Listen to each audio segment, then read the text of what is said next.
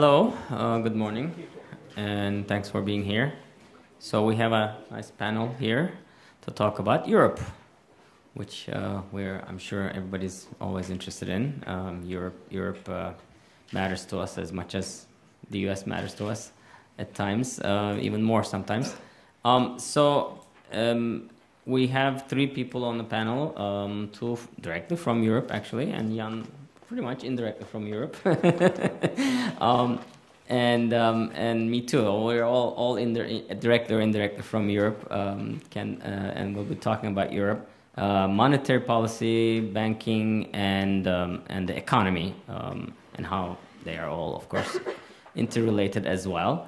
Um, so we have um, Paolo Savona, uh, who has worn a lot of hats in the past. Um, uh, was at the Bank of Italy and the Deposit Insurance Scheme uh, of Italy, uh, at several of the banks uh, in Italy and, and, and um, the Banking Association and, and lots of different places. Now he's a uh, professor emeritus uh, at an Italian university. Um, and Peter Praet, um, who's at the ECB, the European Central Bank, he's the chief economist and um, he's also on the executive board. Um, and um, Jan Kregel, who's uh, at the Levy Institute, uh, he's the director of research, and um, he's um, also a professor at uh, Tallinn University. Um, um, and we will talk about sort of, I guess we'll start with Peter, so we can start with European economy outlook and, and the monetary policy angle and then we'll move on to Paolo, who's going to talk about sort of banking crises and, and Italian banks and, and all the different banking issues interrelated. And Jan is going to talk about uh, Bundesbank a little bit and, and sort of their push and pull on this uh, triangle of monetary policy, economy, and, and banks. So, uh, Peter, if we can start with you.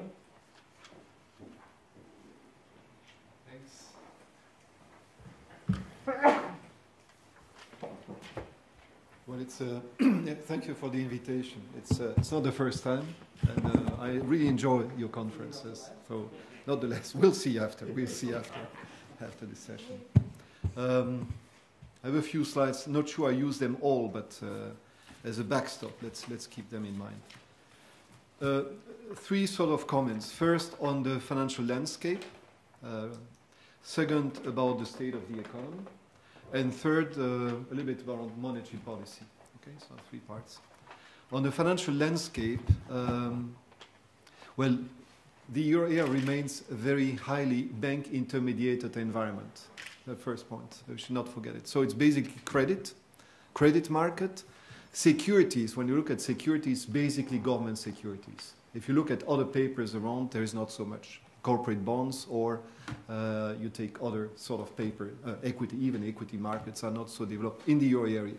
So that's the, the, the, the, the first remark.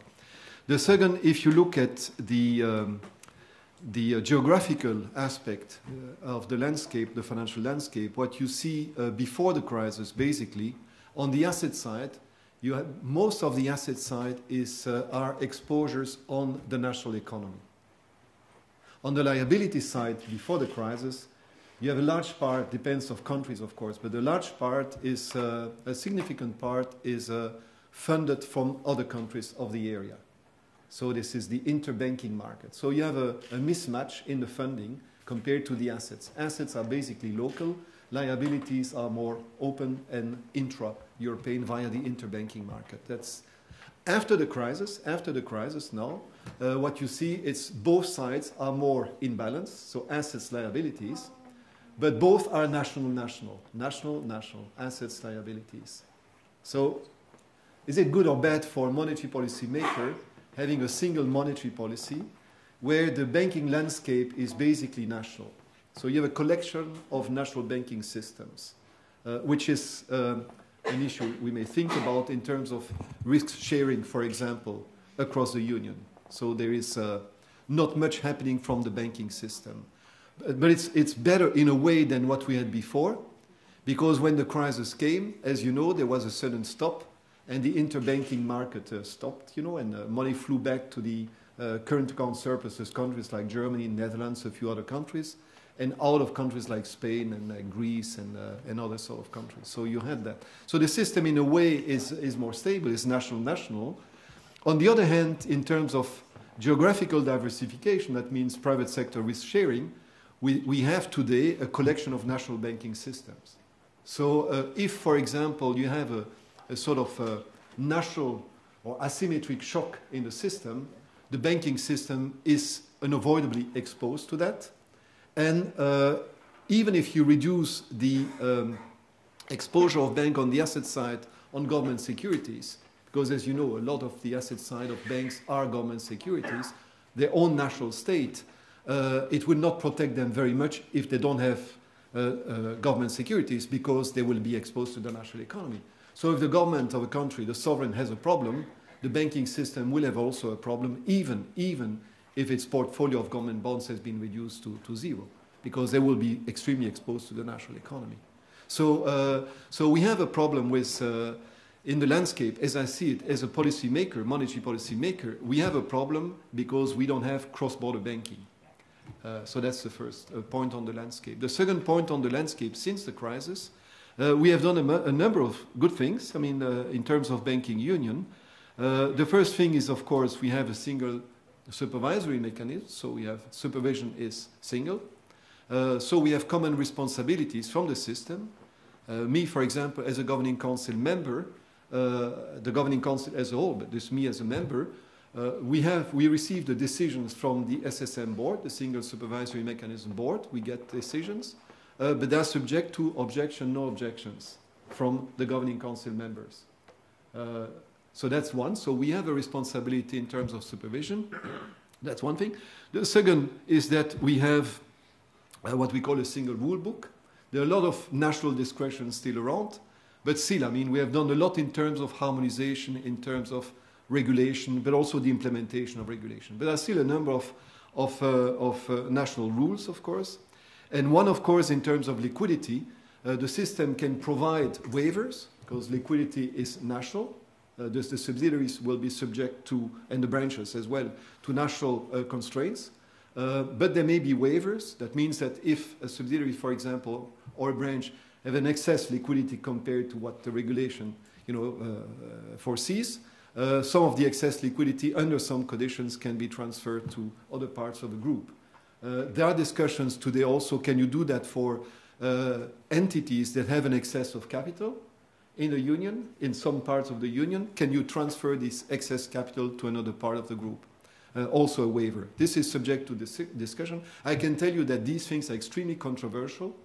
And also when you have sort of a political environment which becomes more uncertain, it's also clear that the ideas of ring fencing and reducing these waivers, the, the, the volume of these waivers, uh, re-emerges very quickly, of course, in the discussion. So, uh, so the banking union is a sort of odd situation because the responsibility is single. So the responsibility for cross-border banking group is the, uh, is the governing council, is the governing council, so mutualization, co-responsibility. At the same time, when things go wrong, you first have the discussion about bail-in, bail-out. So there we have a directive that deals with that, you know, the sort of pecking order. Uh, very difficult to implement because there are, of course, uh, safeguards uh, in terms of financial stability. We may have that discussion a little bit later today if you want. Uh, but you have safeguards for financial stability. So you have a bail-in uh, framework now, which is, we have seen, uh, difficult to implement, to be, to be frank.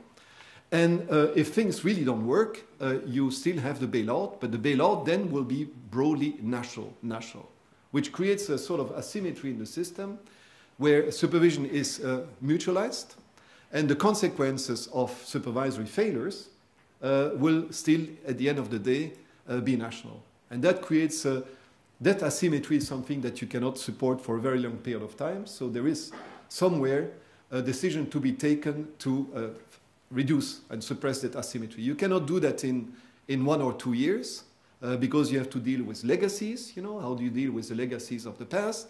You have to create trust in the system. You have to, de the, to develop, you know, what we call the deposit guarantee scheme at the European level, etc., etc. All these things are not done. What worries me, and I say that as a monetary policy maker, is that we don't even have a date uh, where we have to finalize the banking union because there's a lot of disagreement uh, about risk reduction as a precondition for risk sharing before you can do that. And so that means that I start my reasoning by saying the landscape, a collection of national banking system, where the banking systems are exposed to the national economies. The national economies may be subject to idiosyncratic shocks that would hit the banking systems, even if they have reduced the exposure to the sovereigns, even because they will have basically uh, the national economy as a, as a single exposure. I say supervision is single, but the consequences are national. So this is a system which cannot last forever. What is missing today is to have a date, uh, and I say usually four or five years as a horizon, so that banks can manage, you know, decide on their strategies uh, if they want to expand or not expand, you know, cross border. How can you do that if you don't know what regime you will be uh, in the next four, four or five years, which is a, a, relevant strategic horizon for a bank? It's not 10 years, uh, it's not necessarily one year, but four or five years. And so I think this is, a, this is something which is, is worrisome. So that's, I finished my first, uh, my first part here. Uh, so I, am pushing personally very much for that. I think we've, and the Commission, European Commission, and, and, and European Council uh, are working on this to try to find what are the conditions to mutualize finally. But I, as you imagine, it's not, it's not simple because what is still lacking today is trust. Trust in particular in the implementation of existing rules. For example, the Banking Recovery and Resolution Directive, for example. And, uh, and, and we are in a little bit in that situation, which is not a stable situation. So I think this is a priority uh, for, uh, for very soon. Let's see what we get from, uh, from a number of elections uh, this year and, and, and, next year as well, by the way. So that's my first point. The second point is um, on, um, on the economy. Uh, on the economy, I, I, would basically say the following. Uh, the economic recovery in the euro area is gaining momentum. So uh, we are in a situation where uh, we get soft data, sentiment indicators are pretty good, and uh, even, even surprise on the positive. So we tend to say on that basis, uh, we would say the economy is gaining momentum, and uh, there may even on that base be some upside risk on our projections for Q1 of this year and Q2 for this year. Beyond, we don't know. Uh, we don't see upside risk beyond that. But for the first and second quarter, there may be a little bit upside risk. I mean, which in terms of forecasting, that means results may be a little bit uh, uh, better than uh, our projections. But that we, we have to see because, because, because uh, we have to see if the sentiment indicators fit with the hard data. You know the debate in the US, there's a big gap between the sentiment indicators and the hard data. One goes, you know, it's not too good, and the uh, sentiment indicator extremely strong. We don't have in Europe that gap uh, between sentiment hard data. The gap is much smaller. There is some gap between hard data and sentiment indicators, soft data, but the gap is not as in the US. That's good news. The second thing also that we have seen, we checked that uh, our research people, our economists, is to look if the relationship between sentiment indicators and hard data is stable or not over time. So we, you know, we run different sort of regressions, different periods of time. What we see basically, if you take a PMI sort of indicator, that sort of indicator, the relation seems to be, as before, relatively robust. So we would we basically say that the uh, hard data are very likely to confirm the uh, sentiment indicators. But of course, they're very coincident and very short term. It's Q1, Q2. You wouldn't go beyond that. But that's positive. That's why I say there may be some upside risk in the very short term. If you look longer term, I can only repeat a little bit medium to longer term. Uh, we would still say that uh, risks are still tilted to the downside, uh, uh, although we say that the risks are much more balanced. That was the last Governing Council uh, communication, that uh, risks are more balanced, but are still tilted to the downside. as I say, for the very short term, Q1, Q2, there may be some upside risk, but looking beyond, uh, there are still downside risks prevailing. Uh, now, the Governing Council meets next week, plus one day. Uh, so we are not yet in the quiet period. Jan, very well done. And uh, so um, we uh, will meet and we will uh, reassess, reassess the balance of risk, as you know. So here I, I, I, will not prejudge what will be the, the decision of next, next week. That's for the for the uh, that's one part of the of the data. The second is uh, sort of disconnect between hard and soft data. So it's less than in the US, so I'm more confident on this. The second aspect is uh, when you look at confidence indicator, the soft data, and all the indicators of political uncertainty. You know that debate too. Uh, we see high political uncertainty and high confidence. Consumer, business, construction, a little bit across the board now. So why this disconnect? Still a mystery now. You may conclude that the voters are upset about the political system, but at the same time they're relatively optimistic on the economy. So there's a maybe they think you know they, they want to express some protest vote, but at the end of the day they think yeah that's no crazy things will be done, and that policy will be reasonable at the end. What reasonable means remains to be seen but some confident that you know there will not be a big shake-up you know in, in the economic envir environment linked to politics. I don't know. I don't know. We will see later on uh, how things will unfold. But we have this sort of very strange picture where high confidence and at the same time you have high percentages of sort of protest votes, you know, and, uh, and alternative sort of parties that you see at the same time. So it's something that we will know a little bit later what comes out of this. But it's something we observe now that uh, confidence is high, although in political terms, uncertainty is, is high as well. So, what is the reason behind? Now, when you look at the um, GDP, uh, we have more confidence in our projection. So, we think, yes, indeed, it's. Uh, we take it's, it's, it's more it's resilient. Uh, we had a number of shocks. The last one, the last big one, was uh, a little bit more than a year ago. The emerging market shock, which was a real shock. I mean, I, I really understand why there was a pause of the Federal Reserves in terms of interest rate. I mean, Eric, you may discuss, but I thought it makes sense to, to say that shock, you know, after the G20 meeting in Shanghai, was to say, well, let's see a little bit how this shock will be absorbed, what will be the, the policy reaction. And you remember the G20 had a very clear communication to use all the instruments available to try to support the world economy in general. And we did with monetary policy. I interpret the US pause in the tightening cycle I think broadly, broadly what we have seen was okay. The economy, the world economy is doing better, is recovering. There's sort of cyclical recovery at the world level. But it's true, looking beyond the short term, uh, there, there, are still uh, a number of worries on the world economy, as you know, of course. And uh, so that remains, and th these will be the discussions in the coming days in the IMF. So when we go back to Europe, uh, what you see is that uh, indeed the economy has been firming. We say um, it's broad-based. We also say when we say broad-based, uh, we see that um, it's across countries. So all countries are growing. Uh, you see also that uh, it's broad-based across sectors.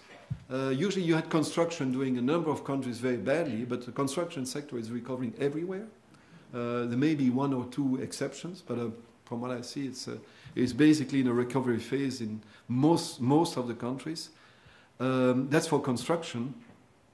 And, uh, but basically, it's domestic demand driven. It's not export. If you look before, all the recoveries we had in Europe in the last more than 10 years, before the crisis also, there was a lot which was internationally driven.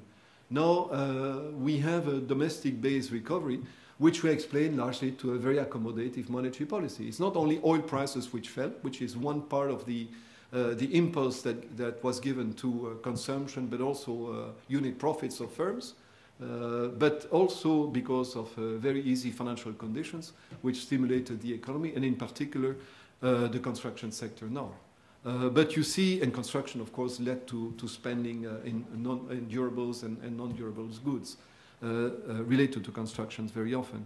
So consumption is very well supported by disposable income. But what's also very interesting is when you look at disposable income of households, you see that wage, wages have been very moderate and from our perspective in terms of inflation, maybe a little bit too moderate. Uh, and uh, we always surprised that wages are not slightly strong, especially in a country like Germany, for example. Uh, but on the other, the, that's a, a, little bit the, the, a little bit the worrisome part of the picture. But the other part of the picture, which is positive, it has been very, very much. Uh, it's surprised on the positive side in terms of employment. So employment is much stronger than what we had predicted. Wages weaker, and employment is strong. So disposable income has been very well supported, and re in real terms even more because of oil prices, terms of trade gains, which are being reduced because oil prices went, went up again. But basically you had a, a real disposable income was quite strong. because the, the basis of uh, disposable income was more employment than wages, uh, the propensity to consume from income coming from employment is higher than coming from wages. And so the propensity to consume has been strong. And if you look at the savings rate, the savings rate has been rather stable. Uh, now, with the increase of oil prices, the recent increase of oil prices, you have seen that consumption has not been reduced. And savings, the savings rate has been reduced a little bit. Now, there's a lot of discussion in Europe about the impact of negative rates on savings, saying, ah, negative rates, people will save more because they have to make up the, long, the lost income, you know, uh, for their pension, you know. Uh, you don't see that. Savings rate has been stable or even going down slightly. Uh, so uh, we don't see a, a, perverse effect on domestic demand via, via savings related to the negative rates that we have put in place. We don't see that. Uh, so that's, that's positive. Even the latest figures indicate that uh, the savings rate has fallen at the euro level as a whole. In Germany, it's true the savings ratio of households has increased, but very slightly. You, don't, you wouldn't put that in relation to the negative rates. Uh, it's impossible to tell today, and it's very small anyway. So that's for the for consumption. It's, it's, it's based.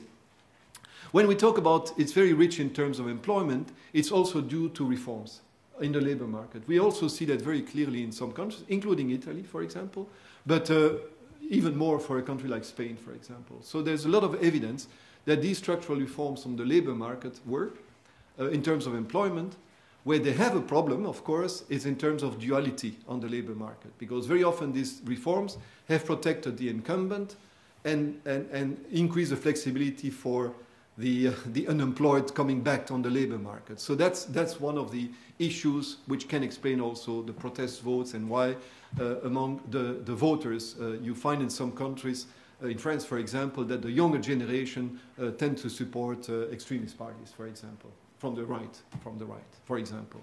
So that's one of the, the, the things that, uh, but that's not a, a central banker uh, sort of pre, uh, preoccupation. It's not in our mandate. This. If you look at uh, investment, investment has been weak, uh, recovering now nicely in construction. Uh, but business investment is, is weak, as you see that also in the United States. but we see, we start to see positive signs also in relation to the recovery of international trade uh, where you see that the export of capital goods from Europe, Germany in particular, uh, has been picking up. Uh, but also on the domestic market, you see the demand for capital goods has been in very recent data improving. So uh, it's still relatively weak uh, in historical standards, but it's recovering as well. Now, if you look at uh, the um, policy stance, fiscal policy has been and, and, remains broadly neutral. You remember there were periods in, in 11, 2011 of very strong consolidation, fiscal policy consolidation. We may discuss about this. And uh, monetary policy has been extremely accommodative. And I will, I will comment a little bit on, on that and then I will conclude. Uh, if you look at the, um, the role, and this is a key issue when you look uh, forward uh, in terms of policy making, monetary policy making, uh, the picture I described now, which is uh, a, a, recovery which is gaining momentum, which is resilient. We had a number of shocks and still we are on the same path. So they, and we are more confident on that profile. The question, of course, which will occupy us in the coming periods is to what extent is that path explained by very accommodative monetary policy, a very accommodative monetary policy, or by very, very easy financial conditions, which also depends of the international context, for example financial the spillovers, for example, of U.S. policies or, or U.S. financial conditions on our uh, financial conditions. So, to what extent is uh, the path I was describing uh, self-sustained, or to what extent is it depending of very easy financial conditions for which monetary policy plays a key role? That's the key question for the governing council in the coming periods. And to what extent, you know, the day when the day will come that you have to turn uh, your monetary policy stance to go the other way, uh, which in any way you would have, in any case, you would have to do in a very cautious and orderly way, uh, because we do, uh, we have a very expansionary monetary policy since more than five years now. 11 was the last tightening in Europe, 11.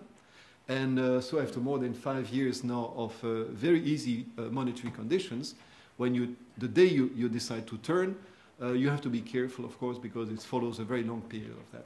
The time has not come according to the Governing Council, but that's, that's uh, the discussion to see to what extent the recovery that we have now is self-sustained, and when you will start, uh, when time comes, uh, this uh, monetary accommodation, you have to be sure that the economy is self-sustained, has reached a sort of escape velocity uh, that will insulate it from changing uh, monetary policy conditions. And that's a governing council has concluded the last meeting. It's not yet the time to conclude in that direction. So we will see in the coming period. But that's the key debate for the coming, for the coming periods.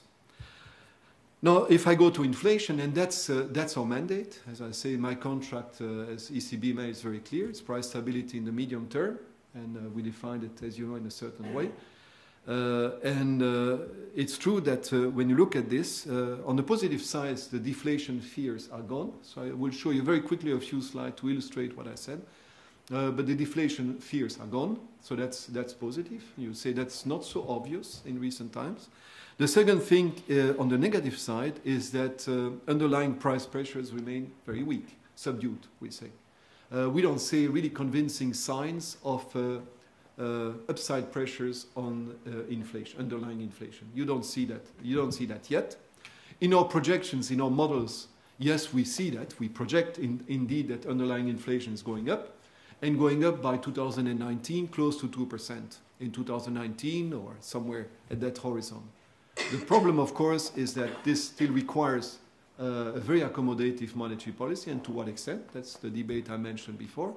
And second, of course, is that there are some downside risks related to that projection because uh, when you run, uh, one of the factors explaining that path is wages, nominal wages. And nominal wages have surprised, as I said before, uh, on the down. And this may be related to the fact when you run Phillips curve, thousands of Phillips curves, uh, you would uh, see that um, these Phillips curve, um, there is some, some improvement in the Phillips curve uh, uh, when you have a broader definition of uh, slack on the employment market. So when you take un- involuntary part-timers, you know, and, and people having retired from the, uh, dropped out of the labor market, you know, the, as in the US, you also have these sort of indicators. And uh, these indicators tend to explain recently better the evolution of wages than the, the official unemployment rate per se. So the amount of slack may be bigger than what the unemployment figure would, would, would show, would indicate. So that there is some downside on, on that. But on the other hand, as I say, the, the economy is more broad-based and there are some positive factors on the other side. Now, the, the, uh, on, let's say on, on, monetary policy now, and uh, then I, I, will conclude looking through very quickly some of the slides that, that summarize uh, my points. Um, the, as I say, in terms of flows, things go better. Uh, now the question, especially in this environment, on this conference, we, have to, we had a balance sheet recession, uh, excess debt in a, in a number of countries. And so what about the stock adjustment? What about legacies and all that? How far are you? Uh, there, I think on the household side, we are very well uh, uh, advanced in the, in the correction, especially in a country like, like Spain, for example, uh, for NFCs as well, non-financial corporations. So I think the stock adjustment is well advanced. We are not so sure. We are looking at that very much. Uh, th we think broadly it's done. Broadly it's done. There may be pockets still of uh, legacies uh, in some countries, indeed, um, th that you can see in, the, the, levels of non-performing loans, for example, which indicate that the, uh, the balance sheet, the stock adjustment is not yet uh, fully uh, realized. But broadly for the union, you would say it's broadly done, but there are still important pockets there uh, which are not yet done, which are being addressed. Uh, maybe we, we hear from our colleague from Italy. Uh, but um, so that's one thing. So there we have a lot of progress. The question of heterogeneity across countries also has been, I think, improved very much also. We had, compared to what it was in 2012, for example, 13. So uh, in terms of banking also, uh, I think the recapitalization of banks also, as I, as I say, there are a number of weaknesses still in the system, but I think broadly speaking, a lot of adjustment has been done yet. The problems we have in the banking, as you know, in Europe, is basically the problems of profitability, banking models, and the fact that the, the, the sector actually in the crisis has not, has not consolidated very much in the crisis. And uh, so that's one of the aspects of the, the, the, low profitability. From our point of view as a policy, monetary policy maker, uh, the competition you have in markets where the credit demand is still very weak, which is normal after uh, you know, a debt crisis, uh, but the competition you have in the banking system, which re results from sort of overbanking, overcapacity in, in, in uh, some of the countries, uh, in the short term is not bad for us because banks tend to transmit easy conditions to their customers. And we see that very clearly in the banking lending service. We published one, uh, or we published one very soon. Uh, I think it's in the coming very soon. Huh? Uh, Michael knows the date. I, I read them already. But uh, you see in general in this service that things go in the right direction because of competition. Now, in the longer term, this is not necessarily good, of course, because uh, the profit margins are weak in the banking system.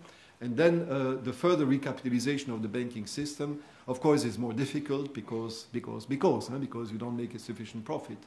And the debate has been very much on the, the impact of negative rates on the profitability of banks. And some have even suggested, you know, that in our forward guidance we have to invert the guidance and first increase the rates, you know, before we stop, you know, making purchases of, uh, of uh, securities, including government bonds.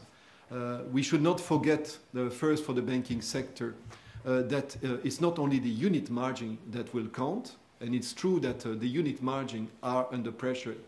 if you fund, if you fund via deposits and you have stickiness, you know, it's zero because you cannot implement negative rates, which remains to be seen because some, some banks do that indeed. Uh, but there is some stickiness, you know, in, in the li- on the liability side on deposits. But the impact on the economy of the negative rates all over uh, for us remains extremely positive. Uh, our experience with the negative rates as, uh, as uh, getting reducing the constraint we have on the zero lower bound, and then we have tested below that. We have brought the whole yield curve uh, to very low level.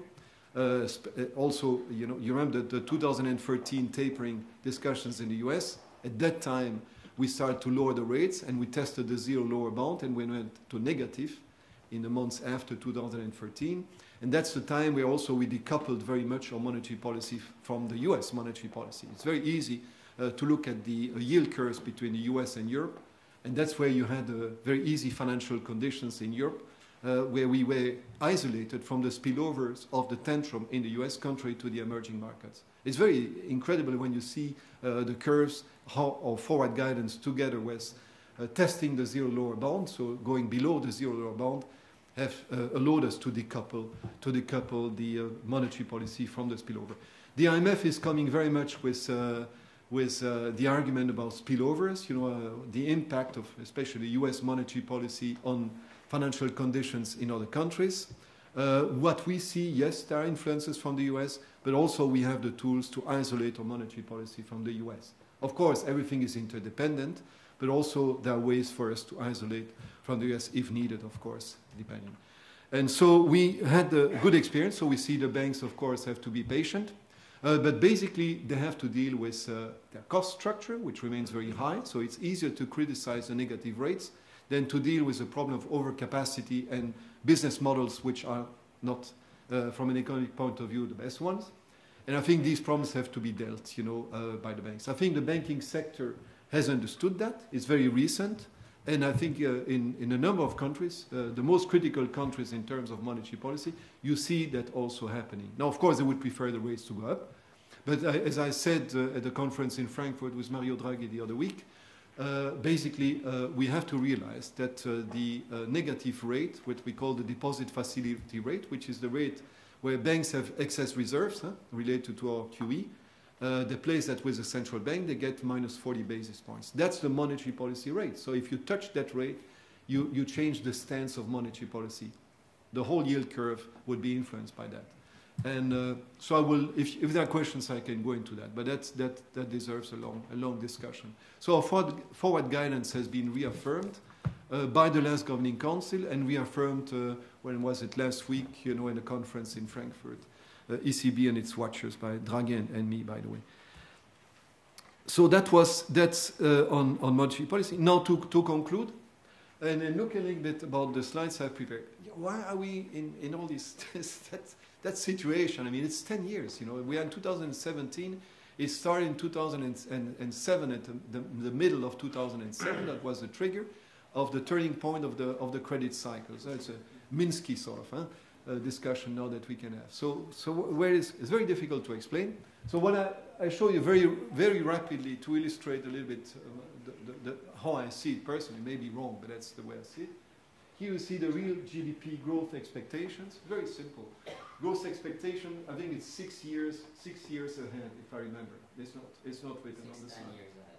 It's uh, six to ten years, thanks. It's six to ten years ahead, uh, your growth expansion. Oh, I have it here, sorry. I have it here. So it's six to ten years ahead uh, growth expectations.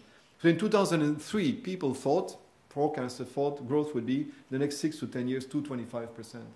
Now they see it 125% the next six. There's a lot of difference. Because if you, if you plan your investment, you buy a house or whatever, on the basis of your expected income, you go from 225 to 125 at the end of the period. It makes a huge difference in, in terms of uh, debt sustainability, of course.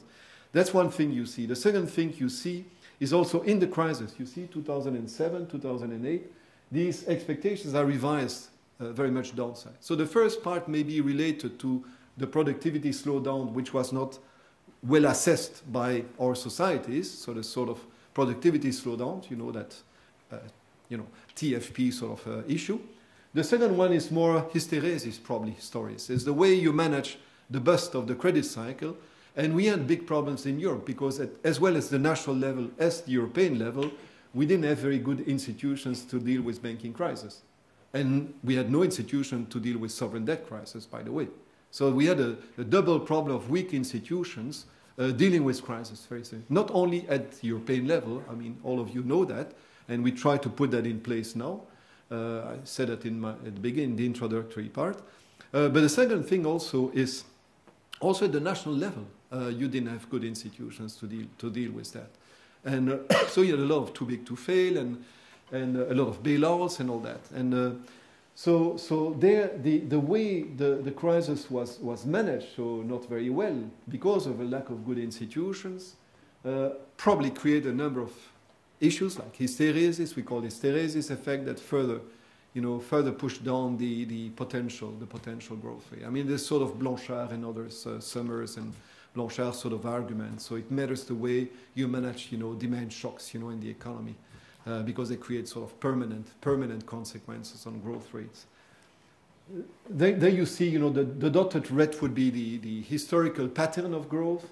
Uh, the yellow would be the actual GDP. You see the double dip, you see the, the 2009 and the, the 2011 12, you know, dip, which is related to the banking sovereign, you know, doom loop, you know, remember that?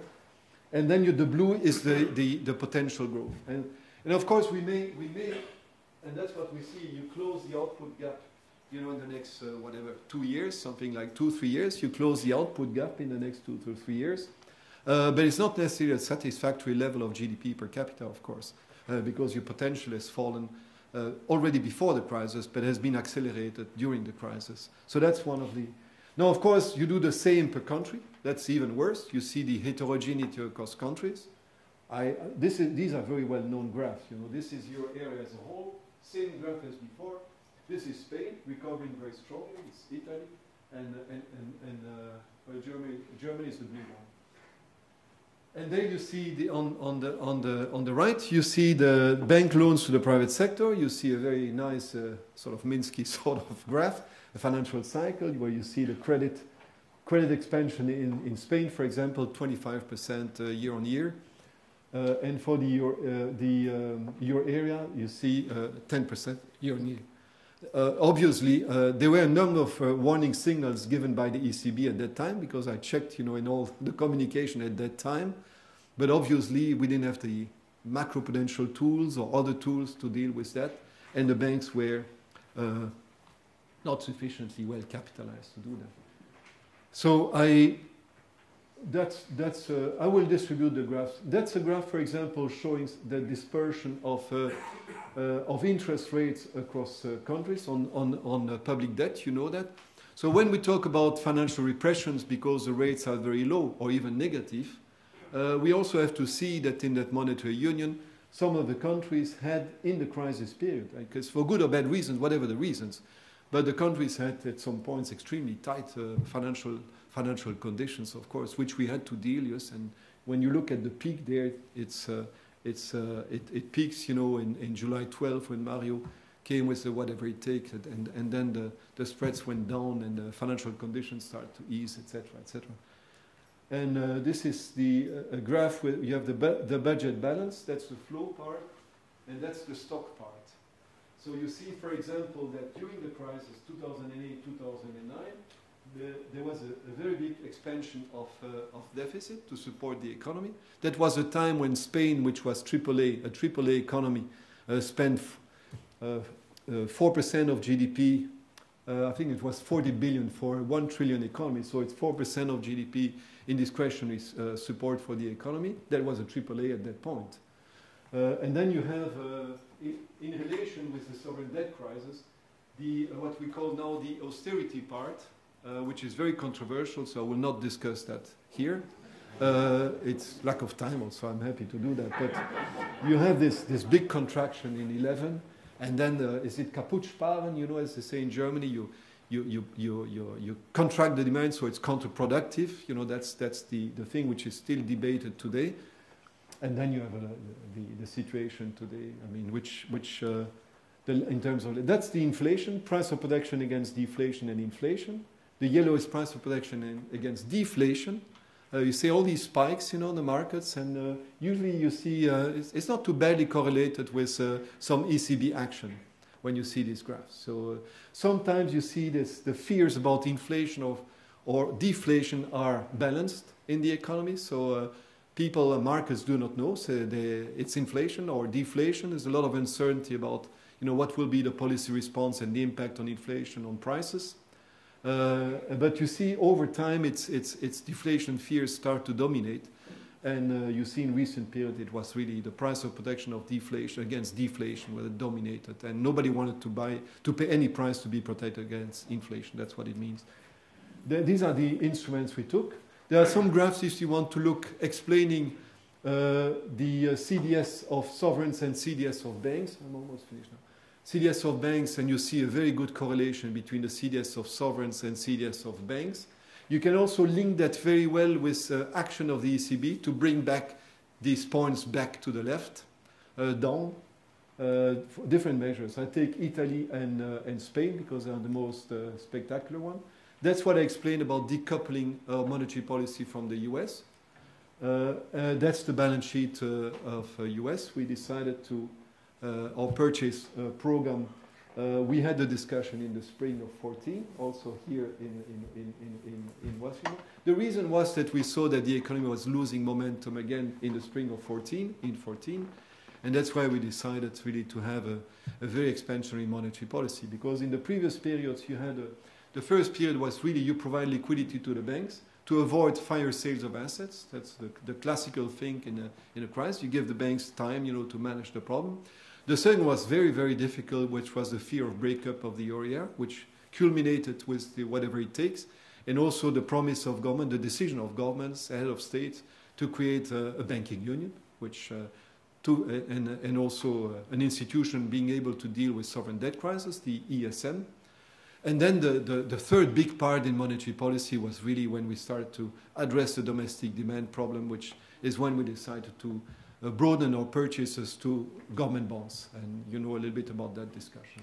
And that's about it. That's the inflation, and that's the institutional changes which I mentioned. Supervision, uh, recovery and resolution, that's the BRRD, the framework for resolution, and the SRM, the single resolution mechanism, the uh, body dealing with resolution of, of banks, which are new institutions.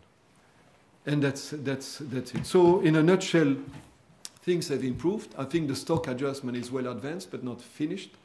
Uh, and uh, in monetary policy terms, uh, it's very important to finalize this uh, banking union and to have cross-border banking institutions, not to have only cross-border institutions, but to have a diverse uh, landscape where also have uh, cross-border institutions in terms of private sector risk diversification. And the, the last one on monetary policy, as I said before, that will be the discussion for the coming periods, will be to what extent is this recovery that we observe self-sustained, uh, even if we, at, at a point where you withdraw accommodation, uh, is the economy sufficiently robust to continue on, on that path I, I described before. So that's, that's the story. Thank you.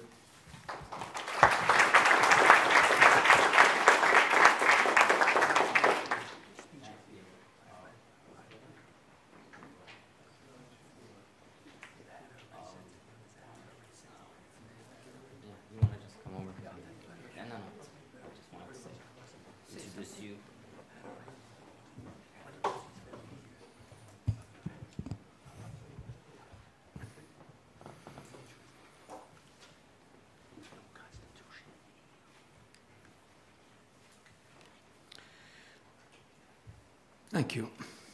I experienced three monetary and banking crises in Italy from 1970 to 2014, when I ended my position as chairman of the um, Deposit Guarantee Scheme in Italy. I am not analyzing the crisis from the point of view of the theory, but comparing my experience with some ideas of Minsky, in particular the um, uh, two, months, two, two masters, uh, uh, uh Minsky masters, uh,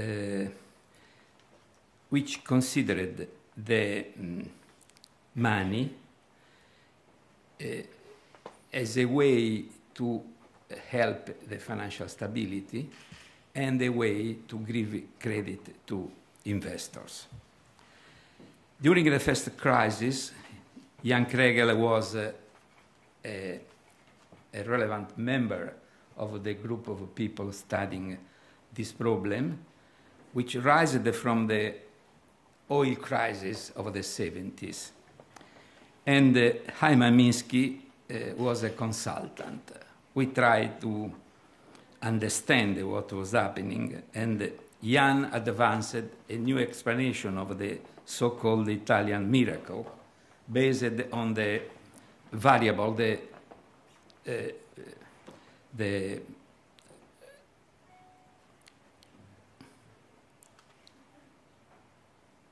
sorry, the terms of trade as a relevant variable of the Italian miracle, and the oil crisis discharged the terms of trade and was the turn turning point of the Italian economy, Italian development.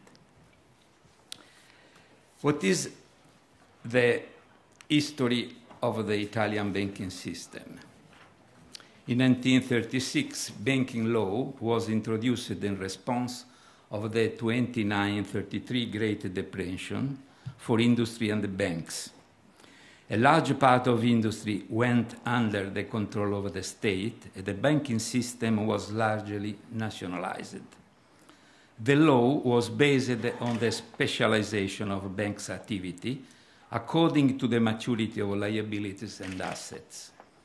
It was under the control of the Treasury Minister, but the supervision was entrusted to the Bank of Italy. In 1993, the government, chaired by the former Governor Ciampi and I as Minister of Industry, obtained by the Parliament a new banking law. The specialization approach was abandoned in favor of the universal approach. The hope was to serve the second Minsky master, the availability of credit for capital investment. This was the approach, the idea. The first Minsky master, to protect savers, the stability of the payment system, was introduced, creating a voluntary bank deposit guarantee scheme. Different from the solution of the FDIC in the United States, which is an insurance company. In Italy, is a sort of mutual system among banks.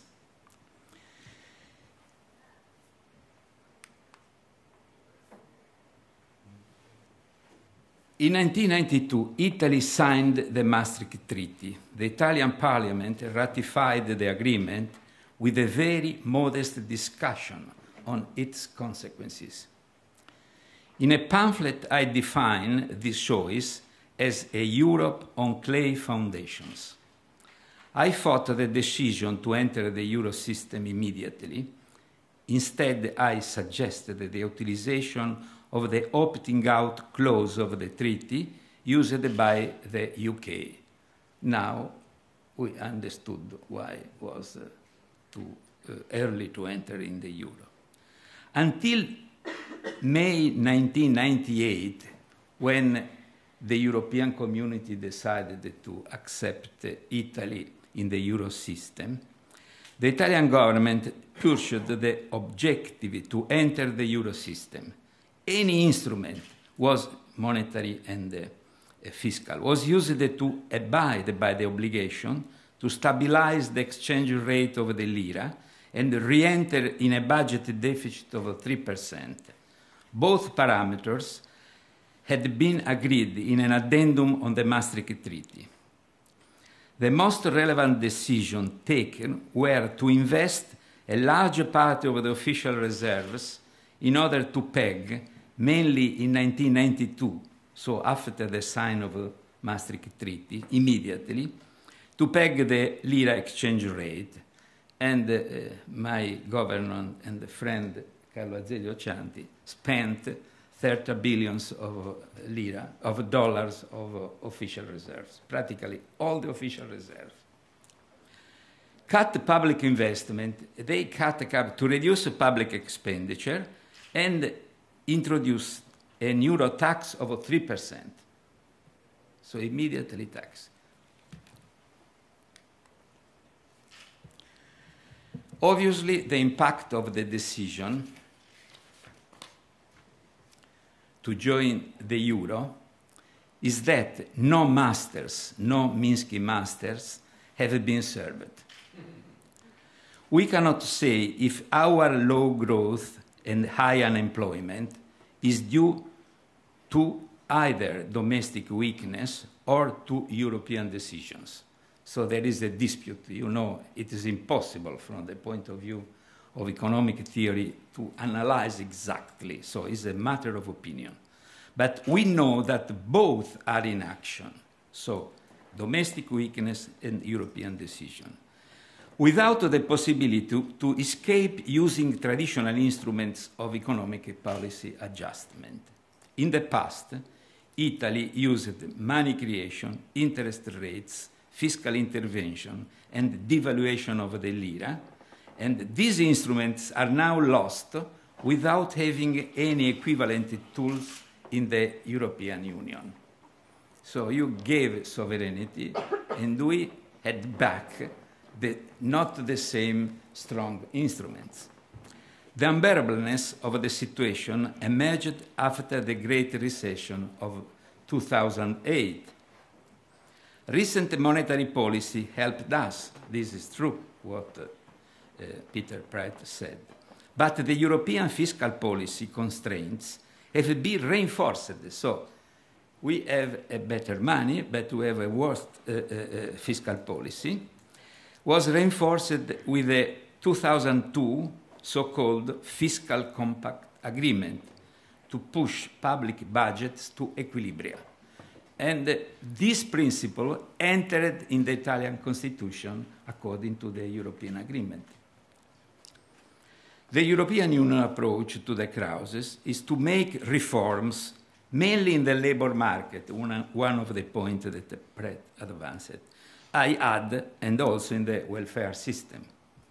But they produce deflation, at least in the short run, making difficult to adjustment of the public budget disequilibria and the economic recovery. So things are, have been complicated.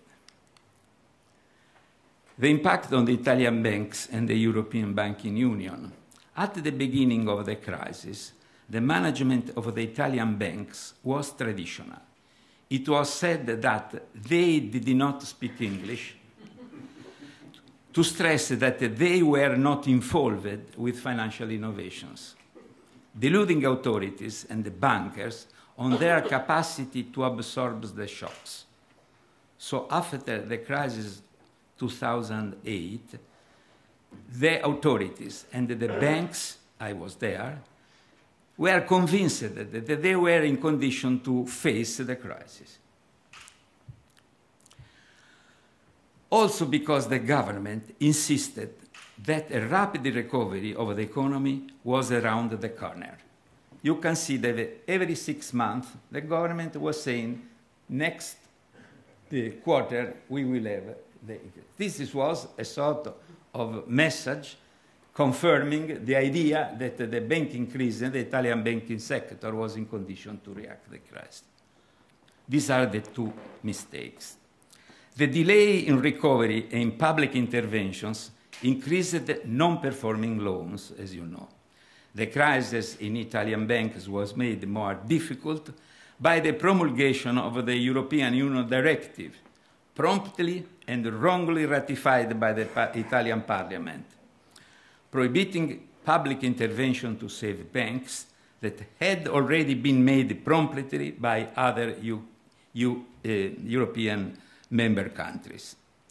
It was also decided to create a European banking union, transferring the supervision of big banks to a new European Union authority and a common law on deposit guarantee schemes and the resolution of a banking crisis under the ECB surveillance.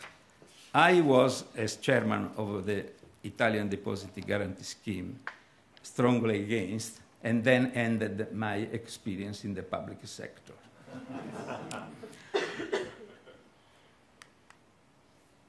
the national sovereignty went to Brussels, and the two masters are not served. This is the condition. This is the conclusion of my very rapid analysis.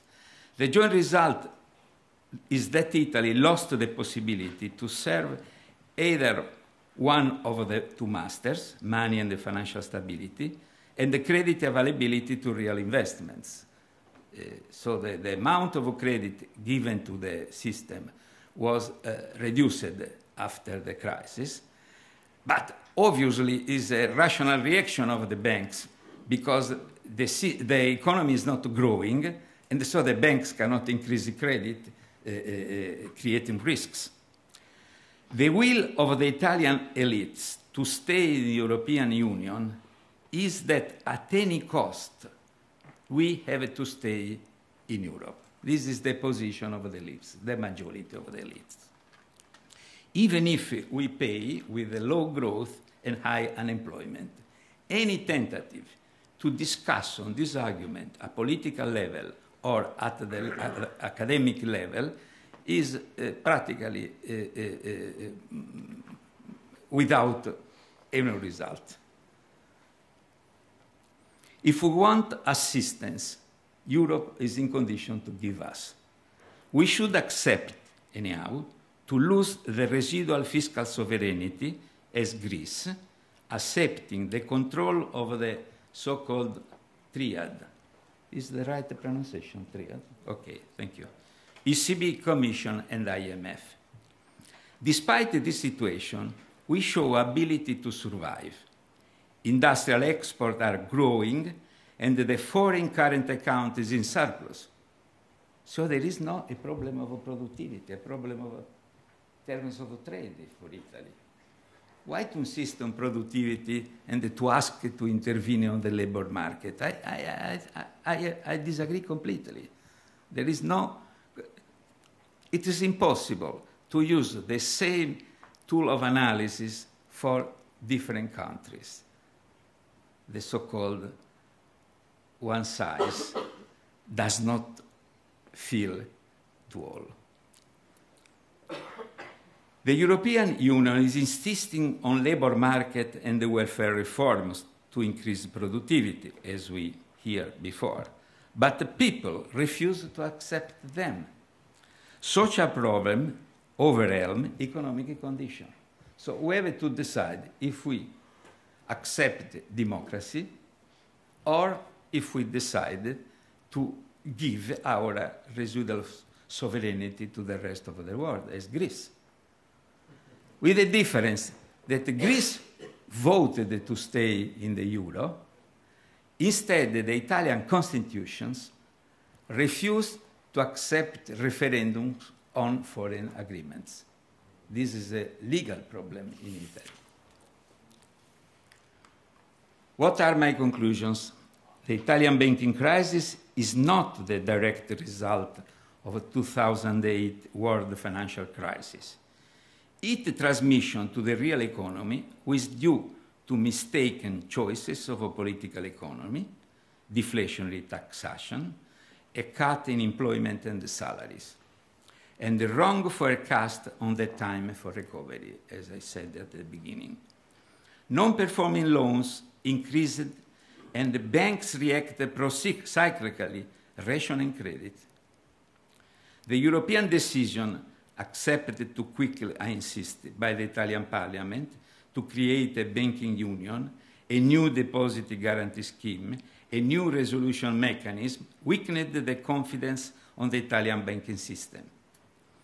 The waiver of monetary sovereignty prevents Italy from using the traditional instrument of adjustment without having a better policy by the European Union, which is written in the Italian constitution. So we are respecting one aspect but not the other, because it's written that you can give your sovereignty if you are guaranteed that the rest of the world participating, like in Europe, uh, give the same, and if the result is better than to use directly the sovereignty. This is written in the Constitution after the fascist drop in 1946. Italy is now bound in an institutional straitjacket, facing an impossible choice between staying in the European system, hoping for a better future, or accepting to go backward. Banks are approaching the system, reducing credit and gaining from the pay payment system. So at present, the Italian banking system is a rent sector, giving through commission on the payment system without the possibility to guarantee the reimburse of this deposit. Because with the new European directive, the Italian guarantee scheme can reach an amount of 80% of the guaranteed deposits, which are now near to uh, 800 billions Eh, euro. So they have only 1% of uh, the eh, possibility to intervene. And my task when I was, instead of discussing with my friends at the Bank of Italy, I was sending a, a graph where there is the level of intervention according to the condition of the bank's budget. For an intervention of 10 billion euro, you, you induce uh, 15 banks to fail. If you intervene with 20 billions, we induce 30 banks to fail. So you have a, an instrument which is in condition to create a systemic crisis.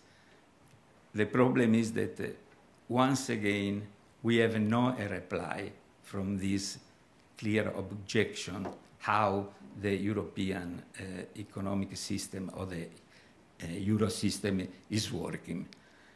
I still believe that the possibility of, to react of Italy is very high. But Italy, generally speaking, react to big shocks. So, continuing this kind of policy, we can avoid big shocks, but we cannot avoid the downgrading of the Italian welfare. Thank you.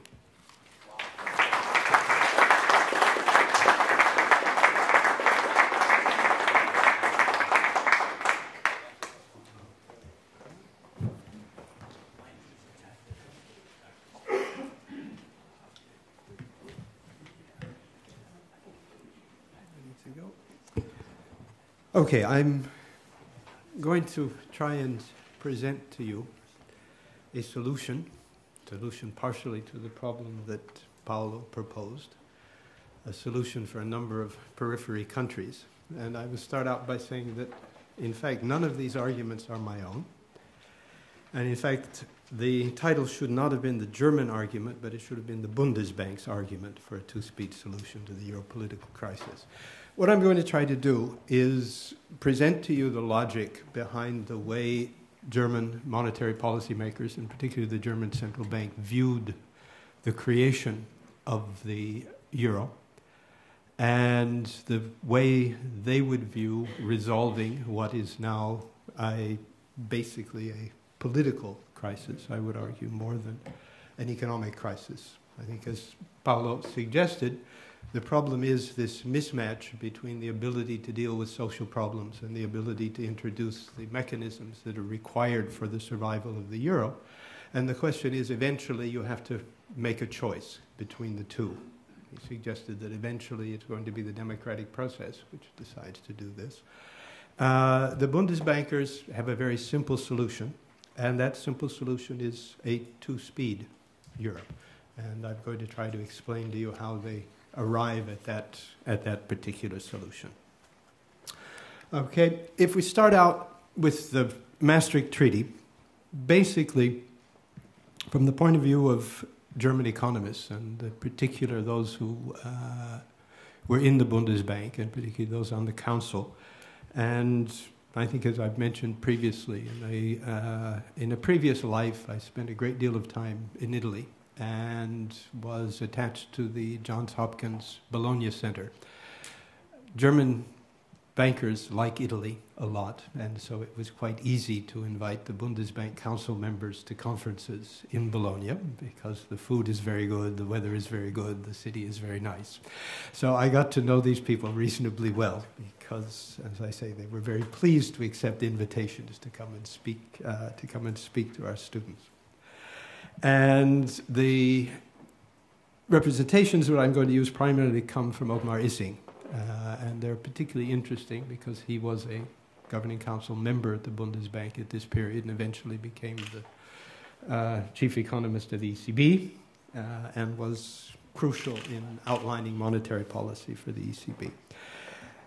Simple terms, the response that the German economists made to the Maastricht Treaty was what they called the sin of variable velocity. Variable velocity how? Well, without going into a great deal of uh, history of the development of the EEC into the European Union via the single internal market or the single European Act.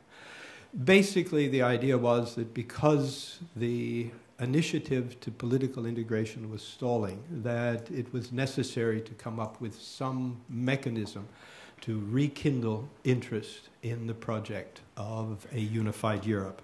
And that project was in the Maastricht Treaty in terms of specifying a single internal market, and eventually that the single in internal market required a single currency or a common currency. Now, the response of the Germans to this was well, if we look, the Maastricht Treaty provides for us a timetable, it provides a map, it provides conditions on monetary unification, but it provides no timetable, no conditions, or any idea of when political unification would in fact occur. And I now quote from Issings the vast majority of German economists advocated the so called economist view that monetary union should be the final step in a long process of European integration, just the opposite of what was proposed in the Maastricht Treaty. But in 1999, 11 heterogeneous countries embarked on a highly ambitious act towards economic and monetary union despite concerns that the euro might fail.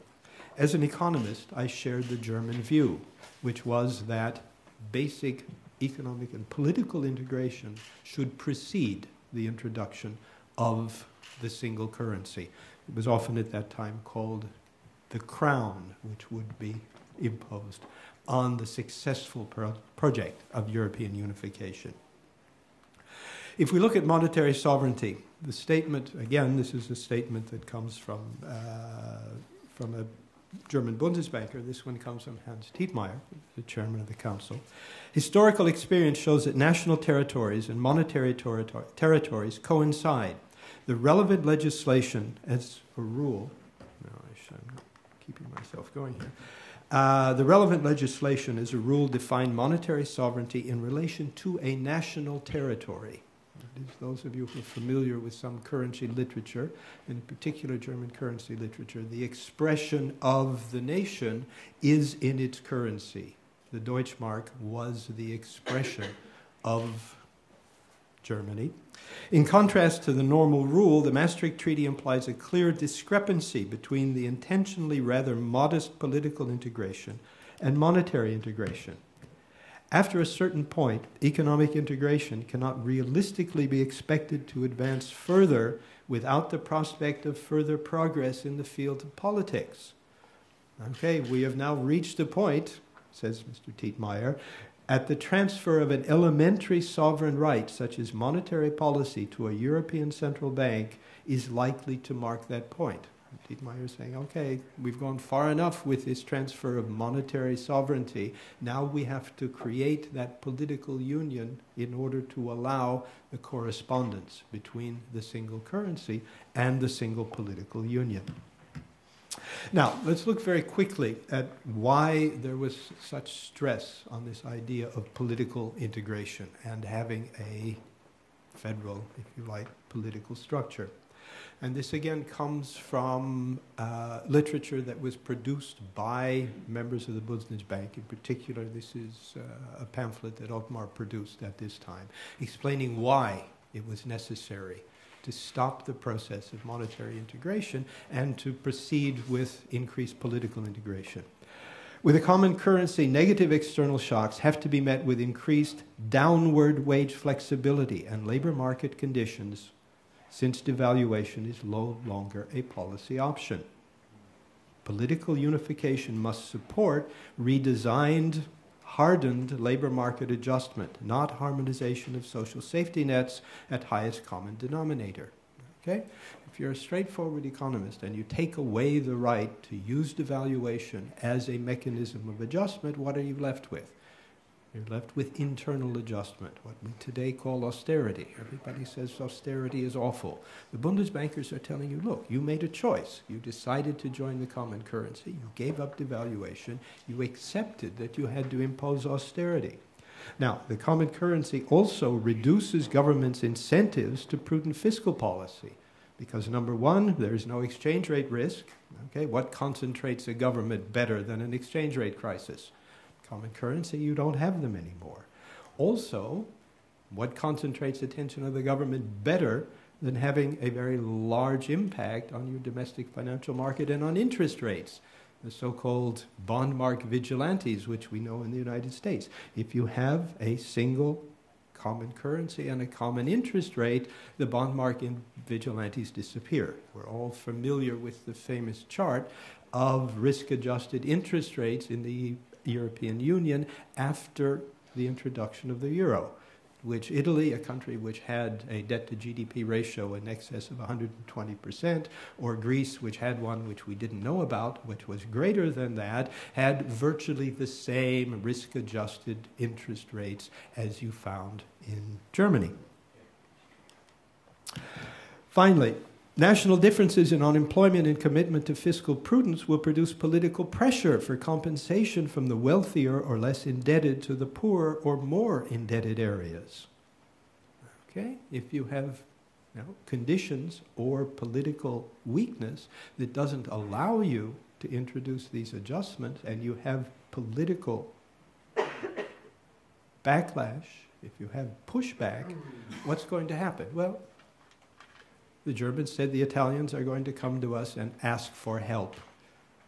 In fact, it didn't turn out to be the Italians, it turned out to be the Greeks. But basically, the concern was that if you did not have a strong political union, the national governments who were unable to impose the required austerity in order to meet the conditions of the euro would then ask the more successful members for transfers.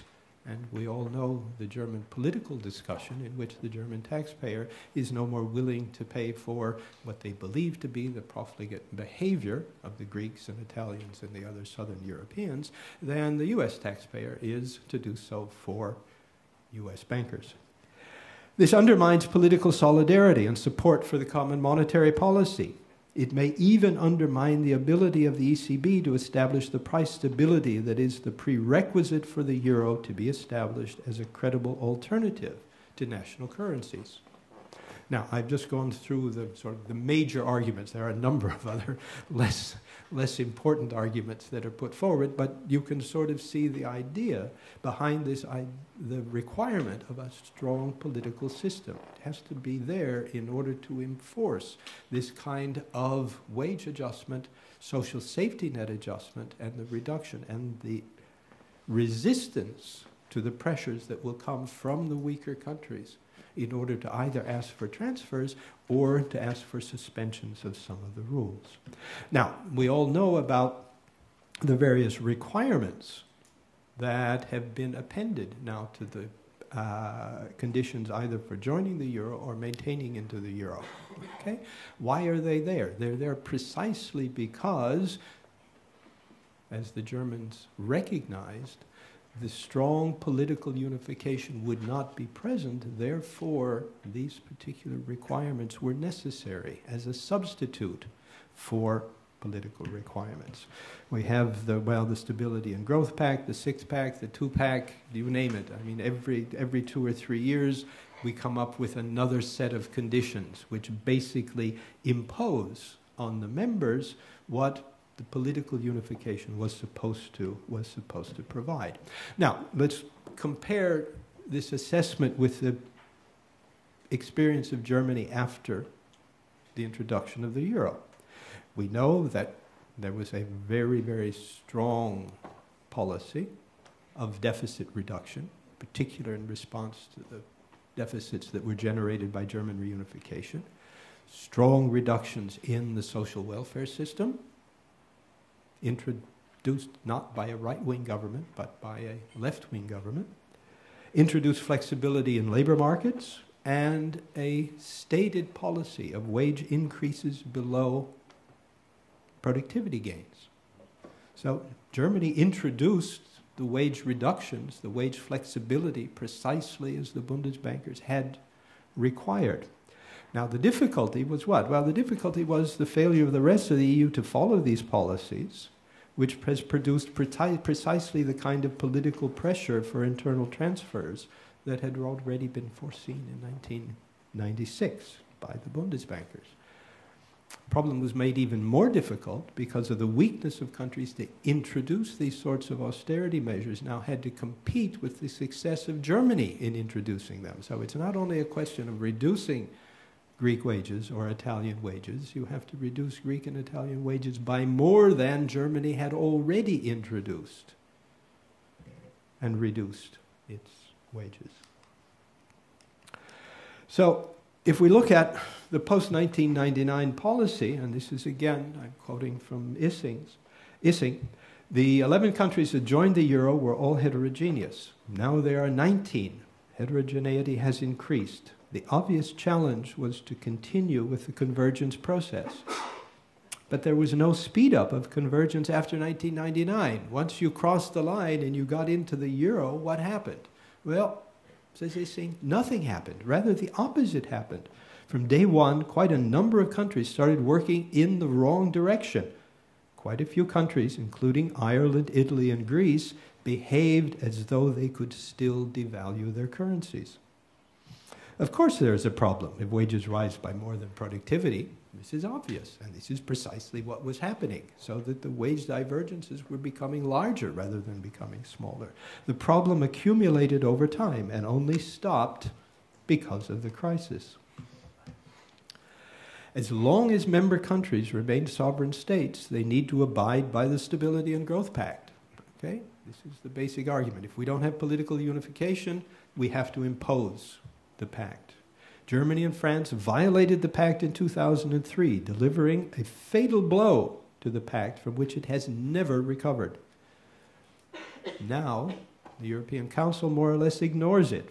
These political failures led to a crisis that was aggravated by the collapse of financial markets on a global scale. So, again, it wasn't the international US European linkage, it was an independent euro crisis, according to the Bundesbankers. Now, since Peter is here, I shouldn't do this and say the ECB is complicit, but according to the Bundesbanker, the ECB was complicit because this transfer process, in fact, occurred because the ECB introduced the policy, if you look at the second blip in his graph, which Issings calls the bailout. Okay? Given that there is no likelihood of political union in the near future, the monetary union with fiscal sovereignty of member states now can only continue if there is no bailout clause. The ECB can no longer intervene in order to support governments and government, government debts. Today, the no bailout, bailout clause is violated every day, de facto. I would not expect the ECB to say from now on, nations must be compliant with the rules. But if the euro is going to survive, the direction should be towards agreeing and respecting those rules. Now, this one, we can skip this one. The result is what? And again, this is a direct quotation. Within the monetary union, the idea is one speed. My preference would have been that when it was obvious that its debt situation was unsustainable, unsustainable, he's talking now about Greece, no more fi- financial support would have been granted to Greece and the country would have had to leave the euro. Okay? We all know that the finance minister Schäuble had made this proposal in the discussions with the Greek government. The Greek government unfortunately resisted at that stage, but the preferred solution, and according to the Bundesbanker, the solution required for the survival of the euro would have been the decision to force Greek, Greece to leave. After that, the EU would offer all the support it could to Greece to help its economy recover and ensure that it could rejoin the euro from a much stronger position. Okay? This is an important point because, as Issing notes, and a number of us had pointed out at the time, and I think now is generally recognized, what initially took place was that a bailout occurred that saved the banking system of France and Greece and indirectly France and Germany and indirectly Greece, and mainly stopped French and German banks from incurring losses in Greek bonds. Okay? the bailout funds, which could have been used in order to support the Greek economy and to make it a suitable entrant to the euro, instead went to pay off the Greek and the French banks and avoid losses. So Issing is saying we might have used that bailout money in a much better way if Greece had been forced to leave the euro. And it then could have avoided the kinds of failed readjustment that we currently are witnessing. It created a situation with all the wrong incentives. It would have been better to demonstrate a country could leave the euro and rejoin from a much stronger position later.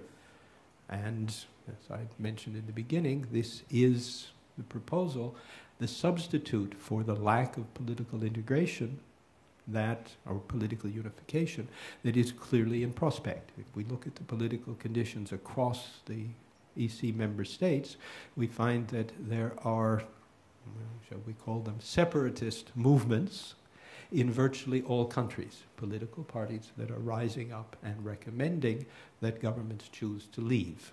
That is, the UK was the first, and there are very strong movements in a number of other countries in which this will be the case. So, from the point of view of the Bundesbankers, their suggestion is that two speed should be possible, but also re entry should be possible. That is, expulsion is not permanent, and bailout funds, if they're used, should be used to provide economic convergence that will eventually allow the countries to rejoin. Thank you.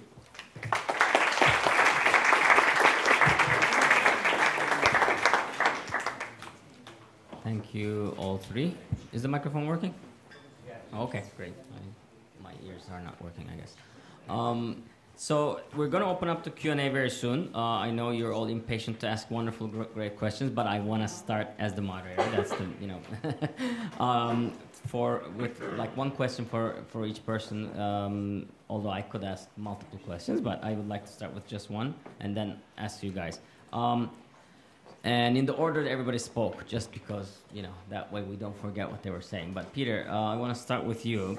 Um, so clearly, the European economy has been recovering, no doubt. Um, everything is, is, is you know on on the better path, and you know there might be risks, but some of the things you said. I mean, one of the issues, as you said, this was a balance sheet recession, um, and when you ease monetary policy, easing rates, even pushing them to negative, but even period, basically pushing them to zero, is supposed to encourage lending.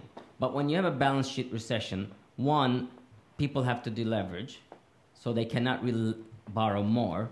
Two, banks are also trying to clear up high NPLs and stuff that happens during a crisis, so they can, you know, they're they're struggling to lend more as well. Even with, and I and I've looked at data since interest rates were brought down in Europe, lending has has not recovered. When they went to negative, they basically stopped declining, which I guess is helpful.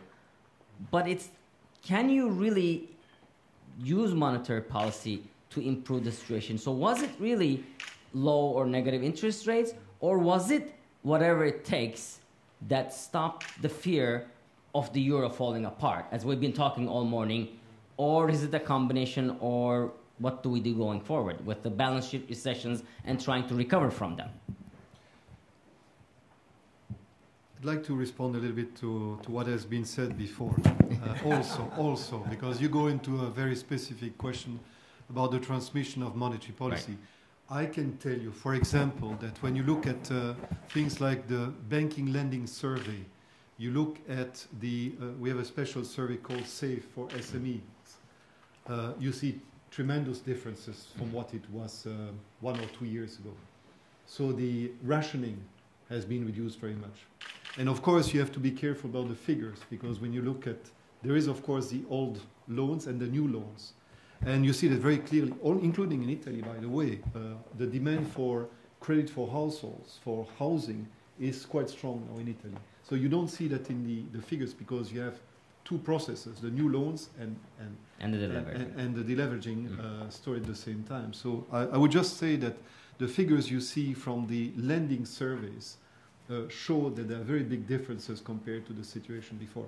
If you look, we, what we also do um, is uh, to trace, when we have uh, things like uh, funding for lending, uh, we, like the TLTRO, you know, these, these facilities we have, uh, we look at uh, the balance sheet of individual banks and we can trace, you know, the money. Mm. And uh, so we have a number of evidence. But you would not expect to see very strong uh, lending figures. But it doesn't mean it doesn't mean that with low credit growth figures uh, that there is a problem for the economy. Because indeed the, the firms basically they, have most countries. I don't know Italy now. but most countries have excess savings now on the asset side for NFCs. Now I talk about NFCs they have uh, excess savings, not only in Germany, but in many other countries you have that. And so it is true that they are more conservative on the balance sheet, but we don't see, as we saw before, rationing mechanism. We also that in the lending conditions, interest rates, for example, is the transmission is, is perfect now.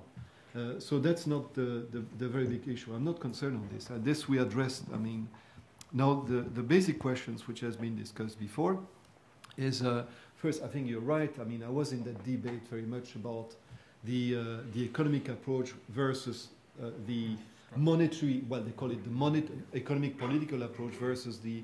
So you lock in the exchange rates, and then markets will have to be more flexible uh, because you lose that instrument. That was the idea.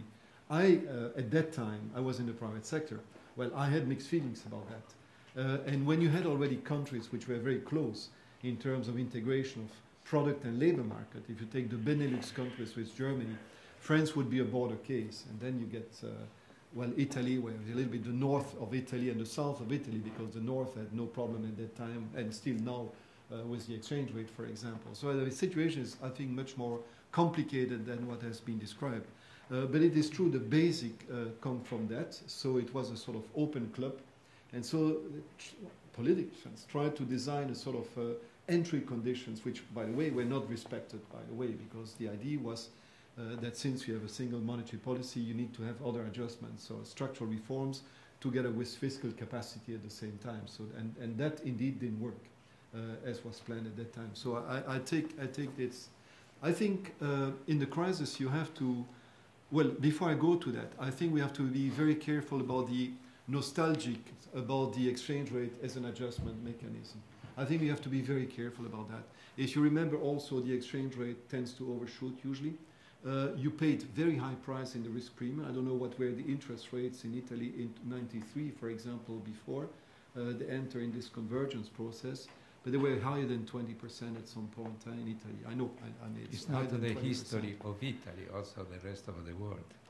No, the no, that's not true. In Also- Germany, also they were not at 20% in Germany. In Belgium, they Yeah. were not at 20%. So what I say that if you lose your credibility in, in, in monetary policy, no, if you lose, it's not my God. If you lose your credibility, you pay a very high price. So I think I, I can take some of the points you make, but I cannot take the point to say that you have a free ride because you have the exchange rate is a perfect instrument of adjustment. I can also see the literature because the independence you have on, on, on the exchange rate instruments and the economic performance of the country. Good luck if you want to find, you, you can find uh, cases in all directions, you know. Peter, Uh, so- Peter. May, may, No, you don't interrupt me now. you, you, you take it after. Because I think you make a caricature also, as many populists are doing. You're making a caricature of the situation. I'm not making a caricature. Just warn that this nostalgia about the exchange rate, I think you should not fool, the people.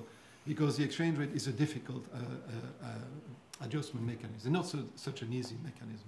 And you pay very quickly the price in that. There are a lot of overshooting stories. I can tell a number of. That's why many countries wanted to enter the monetary union, and they wanted to have hybrid system where you have the, you know, you remember the snake, you know, they have the sort of fixed but adjustable mechanism. We should not forget all this period also there. So that's one point. Also, when we had the exchange rate crisis in 92 and 93, the single market was very much in danger also at that time. You remember when there were parallel imports, there were problems of uh, automobile imports in some place of Europe because Italy had devalued very much the currency. And so the market became, the internal market was very much at risk.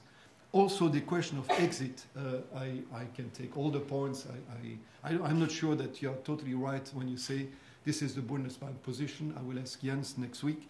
But I don't think. Uh, ex, ex-Bundesbank. well, uh, ex-Bundesbank, I, uh, maybe, but that's already a qualification compared to what Jan was saying before. So one has to be very careful and very precise in these things. Well, it can be Otmar, it, uh, that maybe is not, is not Bundesbank anymore. As you say, it's ex-Bundesbank uh, So that makes a big difference. Uh, so we'll see what's the position there. Now, so be careful about the, the, the exchange rate as an adjustment mechanism. I just, just say that. I don't, I don't say more than that. And we can discuss. And also be careful about saying that there is a, an easy road for exit. There are a number of externalities to that. Now, when I say this is a situation in which I don't say that there were not mistakes. Huh? So, the, the, so there I can also list a number of mistakes before the construction. I, I take some of the points you make. I, I think, and uh, the, the points I was taking as relatively easy mistakes at that time, we, we should have incorporated, is having a single market with a single currency without strong mechanisms dealing with credit cycles, financial cycles. And if I compare Italy with Spain, for example, uh, Spain for me is relatively easy case compared to Italy. Uh, because there we have a, a classical uh, uh, real estate crisis with external uh, funding, cheap funding. It's relatively easy to explain. Uh, the, the, the length of the credit cycle in real estate created also uh, distortions uh, because a lot of the um, savings capacity went into non-productive sector, of course, so that reduced the potential growth rate of, of Spain. These questions are being addressed by the country. I think they came late in the response to the banking crisis, uh, but they've addressed it very forcefully at some, some point. I mean, I, I, I remember the discussions I had with de Guindos at that time, uh, and, and, and the adjustment happened. And you see how, how the economy is improving very much also uh, in, in uh, that's a relatively classical crisis. There, the mistakes we made about you know not having the macroprudential tools, uh, not having you know proper crisis resolution mechanisms. I think these things are being addressed. Much more difficult, and there, there I, I, I tend to agree with some of the points you made. Are more the structural things. I don't think that's so much related to to the exchange rate. I cannot understand why uh, one doesn't go to the real problems of the Italian economy, which is why uh, productivity stopped to grow already in the early 90s. It's not related. I, I, I fully disagree with, with your suggestion that it's related to the exchange rate regime. I think really the Italian situation is, uh, is to do with a lot of structural, structural issues that you have. Look at uh, the uh, solvency law. Look about the judicial system. Look at the, the, uh, the rule of law in, uh, in, in contract. If you want to uh, realize your collateral, how much years it takes, has nothing to do with the, the, the exchange rate mechanism, the exchange rate regime in which you are. Uh, so the mistake, and there I, I join Jan to some extent, is to say that there was the illusion that by locking the exchange rate in irrevocably, uh, governments would, would then uh, indeed do these necessary reforms. And this, this was obviously too optimistic, and it didn't happen. But the problems with or with the exchange rate, with the exchange rate freedom or not, these problems we see on the labor market in Italy, the rule of law, the solvency regime, and all these things, the product market competition, these things will still exist. And that. And if you believe that uh, the exchange rate will give you a, free ride to avoid these reforms, that's an illusion. That's fooling people. Okay, let, okay, Paolo, we're- I'm gonna let you respond to, to that, but I, I do wanna add a question, uh, to relate it to what you were saying earlier, so double barrel. You can respond to Peter and also then go on to my question, which was, from what I understand, you were basically saying, oh, we made the mistake in Italy by not bailing out our banks, uh, before the whole bail-in regime came in. Everybody else did it, Spain did it, Ireland did it, Greece did it, we should have done, It. so you're basically saying we should have, a- but then Italy with the you know debt level, public debt level reaching 120 percent of GDP, would have gone up with with that bailout. Wouldn't that be problematic going forward? Sustainability. I mean, look, Greece is you know three three bailouts later, um, its its debt level is, is it's at a horrible level. So to keep that in mind. But you can start with responding to Peter. I start from the second question, which is easier. I mean, so was a mistake. Now we recognize that it was a mistake because the banking system and the Italian government and the Bank of Italy was against to intervene in favor of the banks for two main reasons. First of all, we had some uh, budget uh, problems and so no money to invest and the people were asking to have directly assistance not to assist banks the second are the banks the problem of private banks in italy is that they have no sufficient capital and if you rise uh, or, or if you ask to increase the capital you are changing the equilibrium of the shareholders inside between the foundation of banks and so on. So the system was paralyzed by the various instances. So it was a mistake. Now we, it is clear that it was a mistake. It is no problem.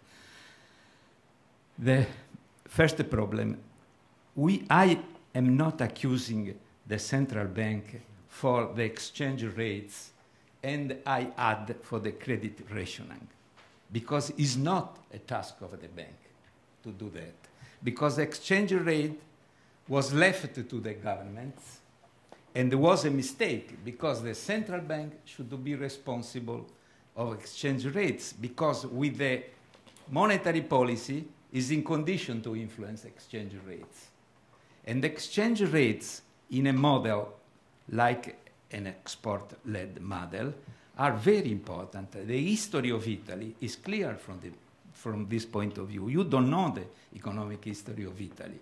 The adjustment in 1992 and then in 1995 of the exchange rate it immediately reversed the condition of the balance of payments. And now we have no problem of exchange rate. I insisted on this point. We have a surplus. So we have a problem of exchange rate because for a lot of reasons, included the current political conditions, people don't believe more in Europe and in Italy, and so they are exporting uh, money, and so the exchange rate is under pressure. But we don't need now. We, we do not consider now that the problem in Italy is a problem of productivity, is a problem of terms of trade. At the beginning, I, I said that Jan Kregel uh, uh, advanced the model based on the terms of trade, not on monetary parities, on the terms of trade. And the terms of trade of Italy are favorable, which is different from Greece. This is why I say if we have to implement the suggestion of Jan Kregel that two days ago Professor Sinn insisted again to permit people to leave, to adjust, to go back. So your point is about, yeah, is the problem that you put is the relevance of exchange rates.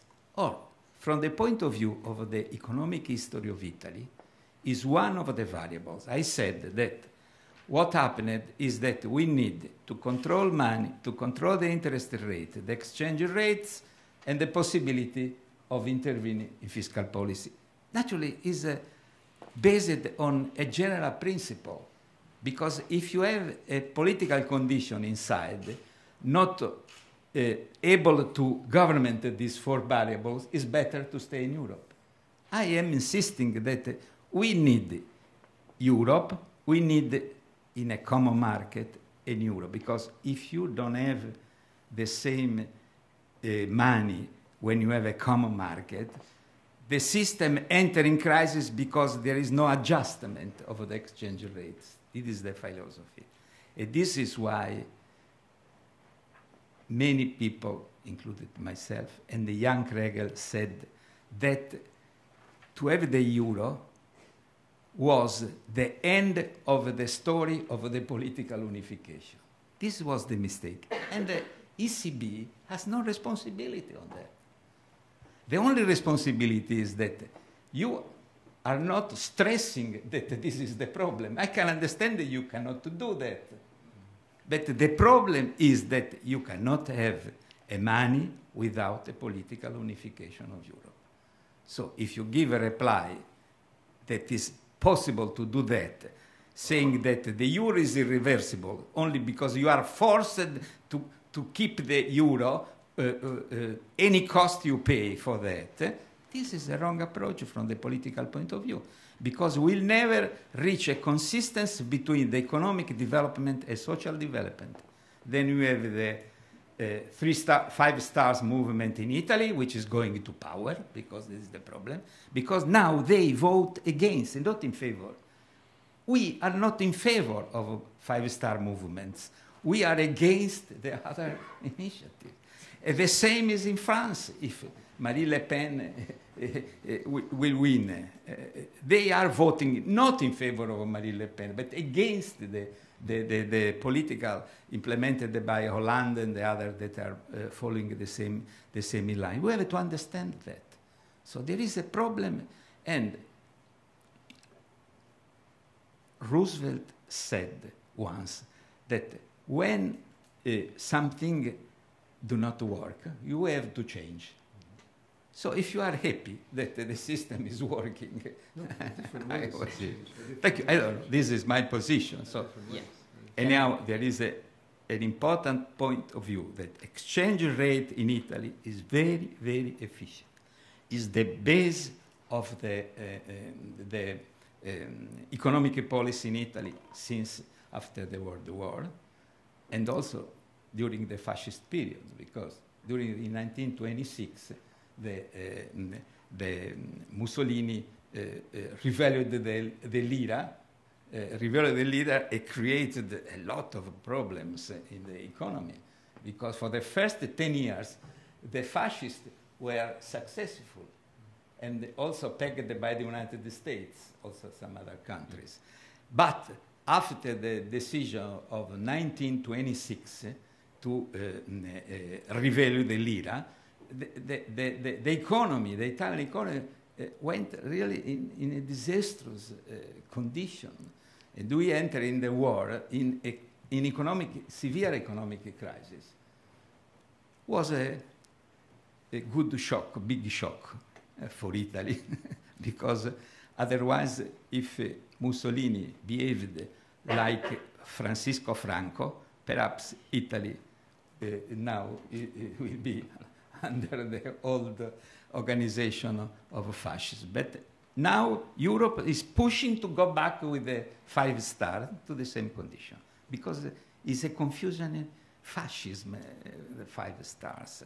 And uh, so I, I, hope that Europe take care of this political evolution in Italy, induced by economic management of Europe. Thanks. Um, Jan, if I may ask uh, one of you, and then we'll open up to questions. Um, so, the way I understood, so you said the bond vigilantes don't work because uh, you have a single currency, so everybody, you know, all the all the interest rates went down to the same level pre-crisis, and they did. I I, I remember doing a chart. Uh, Greek bonds were at uh, 20%, Italian bonds were at 10%. They all came down to the same level with the German bonds. Um, but that was partly because of the no um, everybody expected no bailout to really mean bailout, and the euro to stay together. During the crisis, during the sovereign uh, debt crisis in Europe, we saw that those spreads widened. I mean, German bonds stayed low, but the Italian bonds, Greek bonds, Spanish bonds, they all went way up. Uh, so, so investors were pricing in the risk of them uh, defaulting, and Greece did default very late, and after all the debt had been transferred to the public sector. But instead of, of trying to, you know, get countries out of the euro uh, so they can readjust and come back and whatever, is it possible that we actually really stick to the no bailout clause, clause? And investors now do expect sort of the way too big to fail in banking no longer exists and you expect the bank to fail so you can lose money as a creditor then then countries will have to adjust their structural uh, problems because otherwise the bond investors will punish them separately from whatever other euro countries bonds are doing do you see that as a as a potential uh, solution Okay, again, I will, I will do tr- now, truth in lending now. As I've started out in the beginning, I said this, most of this was taken from uh, pamphlets that had been written either before or after the uh, introduction of the euro. So this is, as I said, this is not my own evaluation or position. On the other hand, I thought it was very useful. Very useful. Why? Because we're currently in a situation in which the policies that are being implemented in order to keep countries within the euro are producing political responses which may, in fact, eventually cause countries to leave. So, number one, I thought it was very interesting that if you go back to the beginning, that this is something that was foreseen already before the introduction of the euro. That is, the Bundesbank had this as a, a possible solution. And it also provides a response to these political pressures. And what are the political pressures? Well, it is eventually taking on this idea of two-speed solution, one which so far has only been, as far as I know, advanced by members of the German government or the Bundesbank, but eventually, I presume, will come under increasing discussion. So the question was, was is there some logic behind this? Why are all these people pushing for two-speed? Is it because we want the Greeks to forever be excluded from Europe? Or does this still enter into the idea of a project of eventual European unification and integration? And it's from that particular point of view, I thought this, uh, presenting the discussion in this way was, was particularly, particularly important. Now, in order to respond to the question, as we said, the proposition that I made was that in the period before the introduction of the euro, in fact, okay, the convergence of risk adjusted yields had been foreseen. Okay, they expected this to happen. Now, this is number one, for anybody looking from the outside, totally illogical. If you look at the debt to GDP ratios, the divergence of debt to GDP ratios across countries, you would never had have expected that you would have had that kind of convergence. Secondly, if you had taken into account the fact that monetary unification was only monetary unification and not unification of national capital markets or national supervisory structures, you also would have been extremely surprised that you had this sort of this sort of convergence. So not so much my argument that the bond vigilantes could not, it's that the bond vigilantes were so fooled in the beginning, as you say, by the fact that the no bailout or the bailout clause was going to rule. I'm not sure which one, uh, which one is more relevant. Okay, because if you're a banker in these sorts of conditions, now the no bailout clause says yes, I've done the right thing because the countries will in fact introduce policies that will make their make convergence a reality, or if the bailout clause, no bailout clause is not substituted, then I have no problem because I'm going to get paid off anyway. Okay, so in that sense, it really didn't make much difference whether you had the bailout clause or you had the no bailout clause. The point is that if you look at the logic behind the argument, and this is, I just now realized that I'd skipped over this slide uh, when I did the presentation, which is again a crucial part of the of the argument, is this the the statement again. This comes straight from from Issing. While the conditions for entry are strict, and failure to meet them produces the ultimate sanction, exclusion from the euro. Okay, so he said after entry there are few sanctions for failure to maintain entry conditions. Here is an asymmetry that is inappropriate in the design of the system. And he's saying, how do you resolve that? Well, you need incontrovertible pre entry proof how you get this, I'm not sure, because Goldman Sachs exists in the world, and Goldman Sachs is always going to be able to produce for you a debt to GDP ratio and a deficit which meets the entry conditions. But if you believe that you can find incontrovertible pre entry proof and hard post entry sanctions that debt and deficit conditions will be met, and then Bottom line, this requires strong political unification. You need a, a, government that is willing to do this. Now, the other part of the argument is that it's not that devaluation may be more successful, it's the fact that devaluation is the politically easy solution. That is, the devaluation may not work. That is, you may end up losing more in terms of potential GDP than if you had acted initially in order to bring about the adjustment. But that's really not the, the discussion that's going on here. The fact is that devaluation is the way the government avoids having to take these very hard domestic solutions. So basically, what are you doing? Well, if you have an internal dispute between manufacturing and labor, and labor wants a real wage which is of this level, and the manufacturing industry believes real wages have to be this level, and the government cannot resolve it, what do you do? You give it to the exchange markets, and the exchange markets then eventually impose that solution. So the argument I think they're making is that unless you have the government that is able to do that, to resist the devaluation when you have that possibility, then it really does not nothing, you know, it does, it does not provide any necessarily any better solution. But the point is, once you're in the system, that is no longer available. So it means your only alternative is basically introducing the kind of austerity which is going to pollute, is going to. Austerity. Well, well, okay, but adjustable. This, no, this is what I don't understand. Yeah, okay. I think there are many reforms which are really uh, independent of your, your exchange rate. Yeah, okay, point, and, yeah. and the list, unfortunately, is huge in Europe. Is yeah, huge, okay.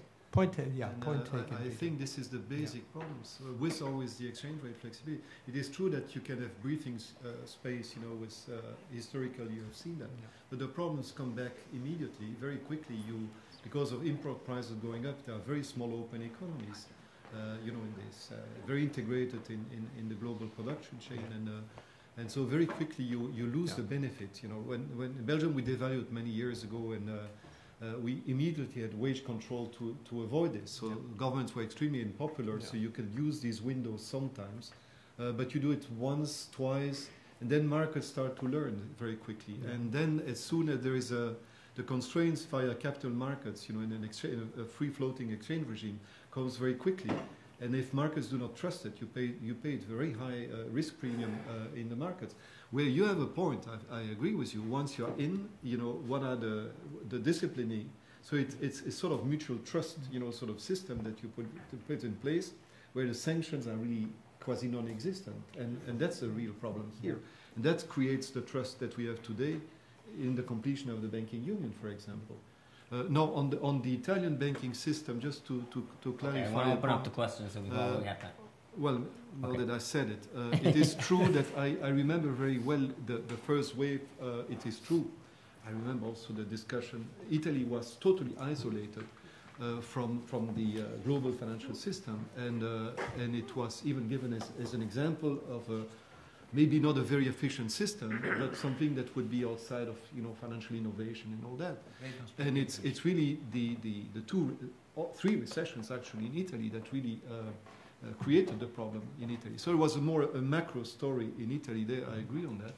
Uh, than the, the, the, Spanish case, which is a different sort of case. And uh, so, um, but no, I stopped because. Okay, okay, yes, I, I really do want to open up the questions we have. Yes. Uh, where do we start? I think I saw that hand right next to you, that gentleman. Yes, I saw his hand first. Sorry. Thank you very much. This has been a terrific panel. Um, I wanted to make some comments about, we, we had a political problem back in the 90s, as you were saying, Jan. We didn't come up with a political solution. I think we're going to come up with a bunch of political solutions if we don't deal with something soon because of all that was commented about the separatist movements in so many countries. Um, I think deflation um, is, is much harder socially than reflation, and I'm not talking about hyperinflation. And I think one of the keys to the problem that has developed that wasn't discussed was the, the assumption that wage increases should be below productivity.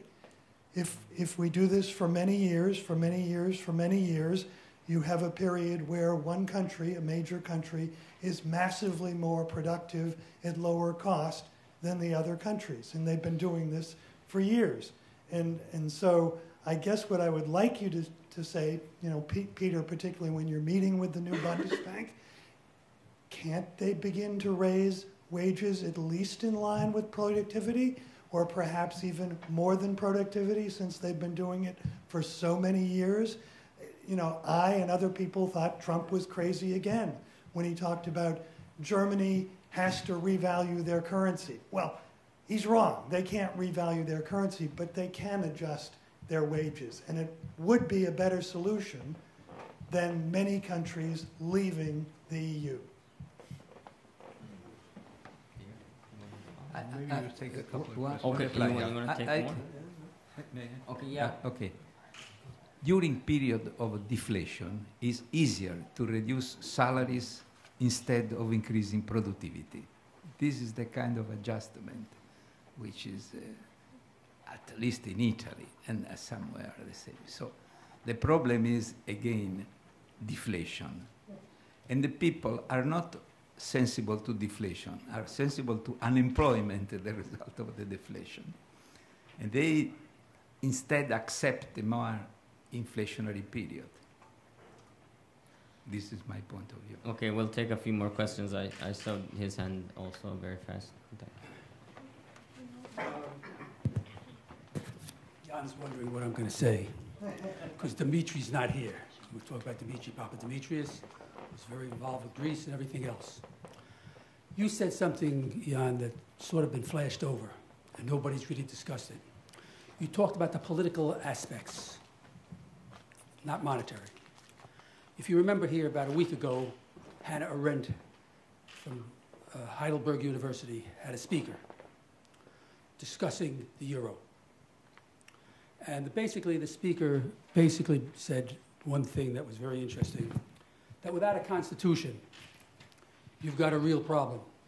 No matter how many geniuses there are in economics, it's a real problem without a constitution to meld all the countries. But what you said about Italy, World War II, and I'm going to go back before the Maastricht, and where I get my information is from friends of Dimitri, and more important, names that you'll recognize Mogens Camre, the former vice chairman of the EU, who just passed away just before Christmas. Why was the EU really put together? Nobody wants to discuss it here, it hasn't been brought up.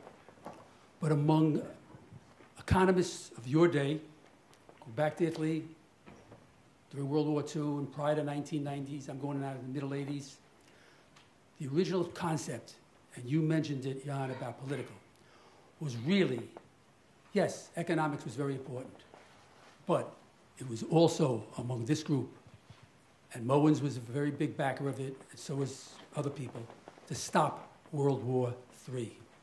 That was the basic understanding of what everybody had and what they were trying to do. All right?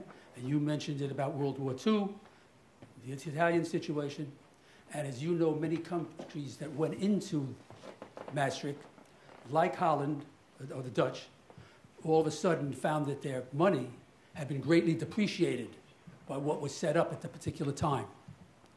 So I just want to bring that up to you because you mentioned it, Jan, about the political ramifications, which hasn't really been discussed, and you mentioned it with reference to Mussolini during that particular time. And that was really the undercurrent of a lot of things that went on in the economic situation.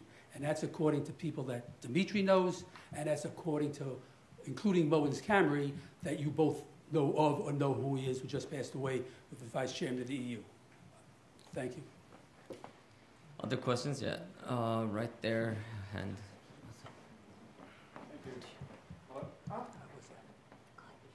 not mic- microphone. It's on. It's on, okay. Okay. Thorvald Moe, uh, Levy Institute, former Central Bank of Norway. I have a question for Peter Praet um, regarding the outlook. Uh, I was just looking at the IMF uh, WEO for the euro area, and they are sort of showing a tapering off from, I think, two to one and a half. And, um, and my question is related to this sort of lowering of expectation that you mentioned that, that we also discussed regarding the U.S. economy yesterday, where you know, uh, we, we saw that the potential output has been constantly revised downward, and so we're sort of uh, uh, saying that we are in a pretty good situation and accepting growth outlooks of around one and a half, two percent. And my question is really, how did we come to a situation where we suddenly see this as the new normal, and even as, as the situation where monetary policy should perhaps start to be uh, tightened? And um, I think you mentioned also the, the unemployment rate, but as we discussed yesterday for the US, uh, employment has not um, increased at the same pace as normal. Um, and so there is perhaps much more slack than you know we would expect. So my question, I guess, is twofold. I mean, where are we? I mean, we, because we seem to have uh, someone's being pretty rosy and upbeat on the outlook, like you, and then you have, you know, um, evidently more slack in the economy. And then the question is, what can we do? And um, monetary policy has been accommodating for long. Uh, IMF and others have advocated more fiscal stimulus, and even the e European Commission has, in its own paper, advocated a, a very modest package of fiscal stimulus. Uh, but but there doesn't seem to be much support for it. So what can be done to get growth back up? Thank you. Thank you. Want to answer a couple of these that you've been taking notes on, and then we'll take more questions after that? Yes, yeah. Mm -hmm. I mean, first on, on, on politics in general, uh, we, we, we, have French elections. We will see uh, uh, next week a little bit what it gives. Uh, because when you look at opinion polls, contrary to Italy, by the way, but the support for the euro is, is, is, is very strong, which led some of the candidates to nuance uh, a little bit their position in very recent, recent communication. You see that. We should not forget the other part in some of the countries, not in all countries, indeed, but in France in particular, or in the UK, um, you have the migration problem. And so, so uh, I, I, don't think the elections are about a, a referendum on the euro. Uh, there's a lot of discussions about regaining control, uh, migration, and I don't know something uh, on the economic policy in general. Uh, but in a global, the global environment, it's not so easy to do. I mean, that's so I say whatever the exchange rate. See, look at the debate in the U.S., for example. Uh, so regaining control in a global environment, what does that really mean? I mean, uh, so we still believe uh, that the exchange rate uh, is not the main issue that we have. Of course, there may be in the adjustment process a number of problems, but basically it's, I'm sorry to say that, but there are deep structural problems in a number of societies. And, and I also go into the income distribution part, the impact of migration, for example, if you, there was a question of wages in Germany. Uh, basically, you can see the, the labor market in Germany as a, is a country where the manufacturing uh, sector has increased in a crisis in terms of value added, not in terms of employment, but in terms of value added. So the share, the share of uh, manufacturing has increased in GDP in the crisis. Uh, the, wage policy in, in Germany, you could, you could see it, uh, but it's, it's, it's not proven what I would say. But there is a sort of um, awareness about the consequences of uh, wage uh, claims by the unions on the manufacturing sector. It's a big sector in Germany. And in the consensual sort of model that you have, it is, it is somewhere, it looks like, as the employers uh, and, and uh, representatives of the employees or the workers have a sort of um, exchange rate uh, the implication of wages compared to what the others. So, there is a sort of awareness there. Uh, and so there is wage moderation uh, in, in the context that you can see. Yes, which, which doesn't facilitate the uh, internal adjustment process, which is, is an issue indeed. Now, the non-traded sector, the non-traded sector, services, there you could say, well, in that sort of environment, uh, because there is a sort of uh, full employment sort of situation, uh, there you should see you should see wages uh, increase in the non-traded sector compared to the others. But there uh, you you get probably, and as I say, this is tentative. What I say, you get the impact of migration, for example, and the very cheap, uh, flexible labor market that you have uh, in Germany, which explains also why unemployment uh, rate is so low. these are jobs which are not as, as looks a little bit more US now, that part of the labor market than it used to be in Germany. And that's a debate you have in the, uh, the uh, electoral campaign now in, in, Germany about that. But it could be also that for the uh, protected sector, when we look at inflation in services in, in Germany, and you uh, look at wages in Germany, there is some good correlation, of course, because wages are very important in the services sector in general. And you see that the wage evolution remains subdued uh, in the services sector as well. There, the public sector has some room uh, and it's true that there is some elements of incomes policy in dealing with the problem uh, in a sort of cooperative way, and some people, including in the Bundesbank, uh, this time people working in the Bundesbank, like the, the head of the economics department of the Bundesbank, has defended also that wage policy would be part of the adjustment process also. Uh, these are not easy things to deal with. But I wanted to say on the political situation, you have the migration dimension, we should not forget including the impact on wages in services, and I think in Germany in particular. Uh, so that's one, one of the complex issue. And uh, mentioned the manufacturing, and uh, but I think the, the main question is um, the uh, incapacity of uh, governments to convince their voters of uh, the necessity of structural reforms. And I mean, look at Italy. Why do you have in Italy so many micro firms in Italy? And you remember that was linked very much to the labor market legislation, which mm. you have uh, triggers, you know, at very low levels.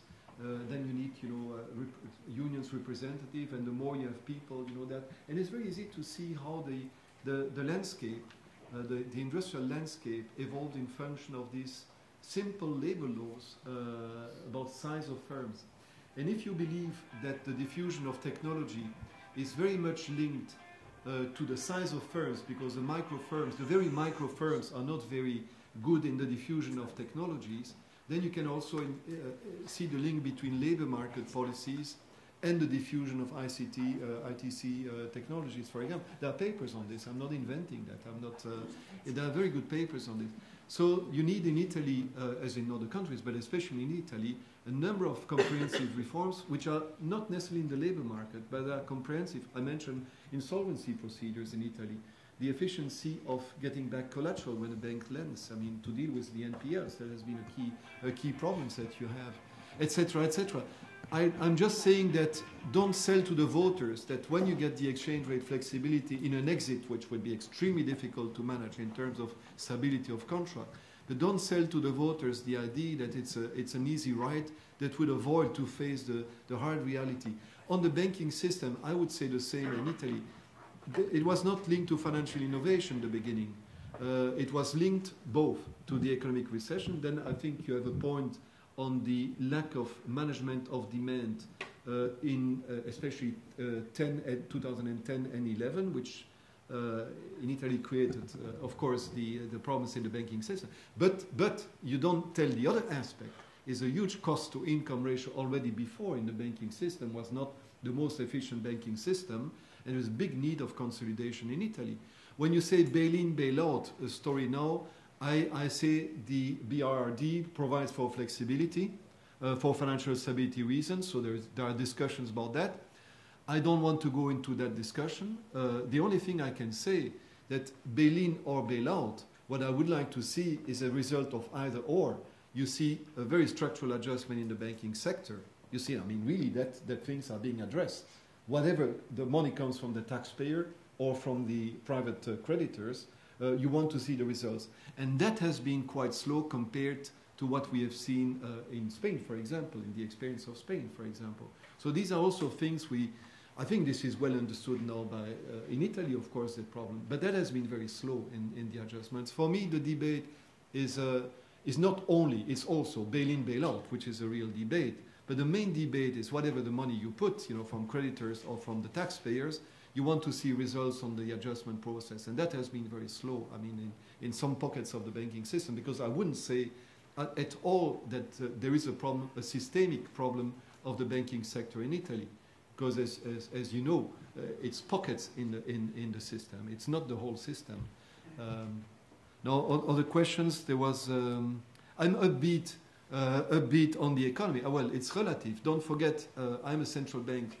I look at the closing of the output gap with a, with a potential output which is slow from my point of view, closing the output gap would put pressure on the inflation at some point.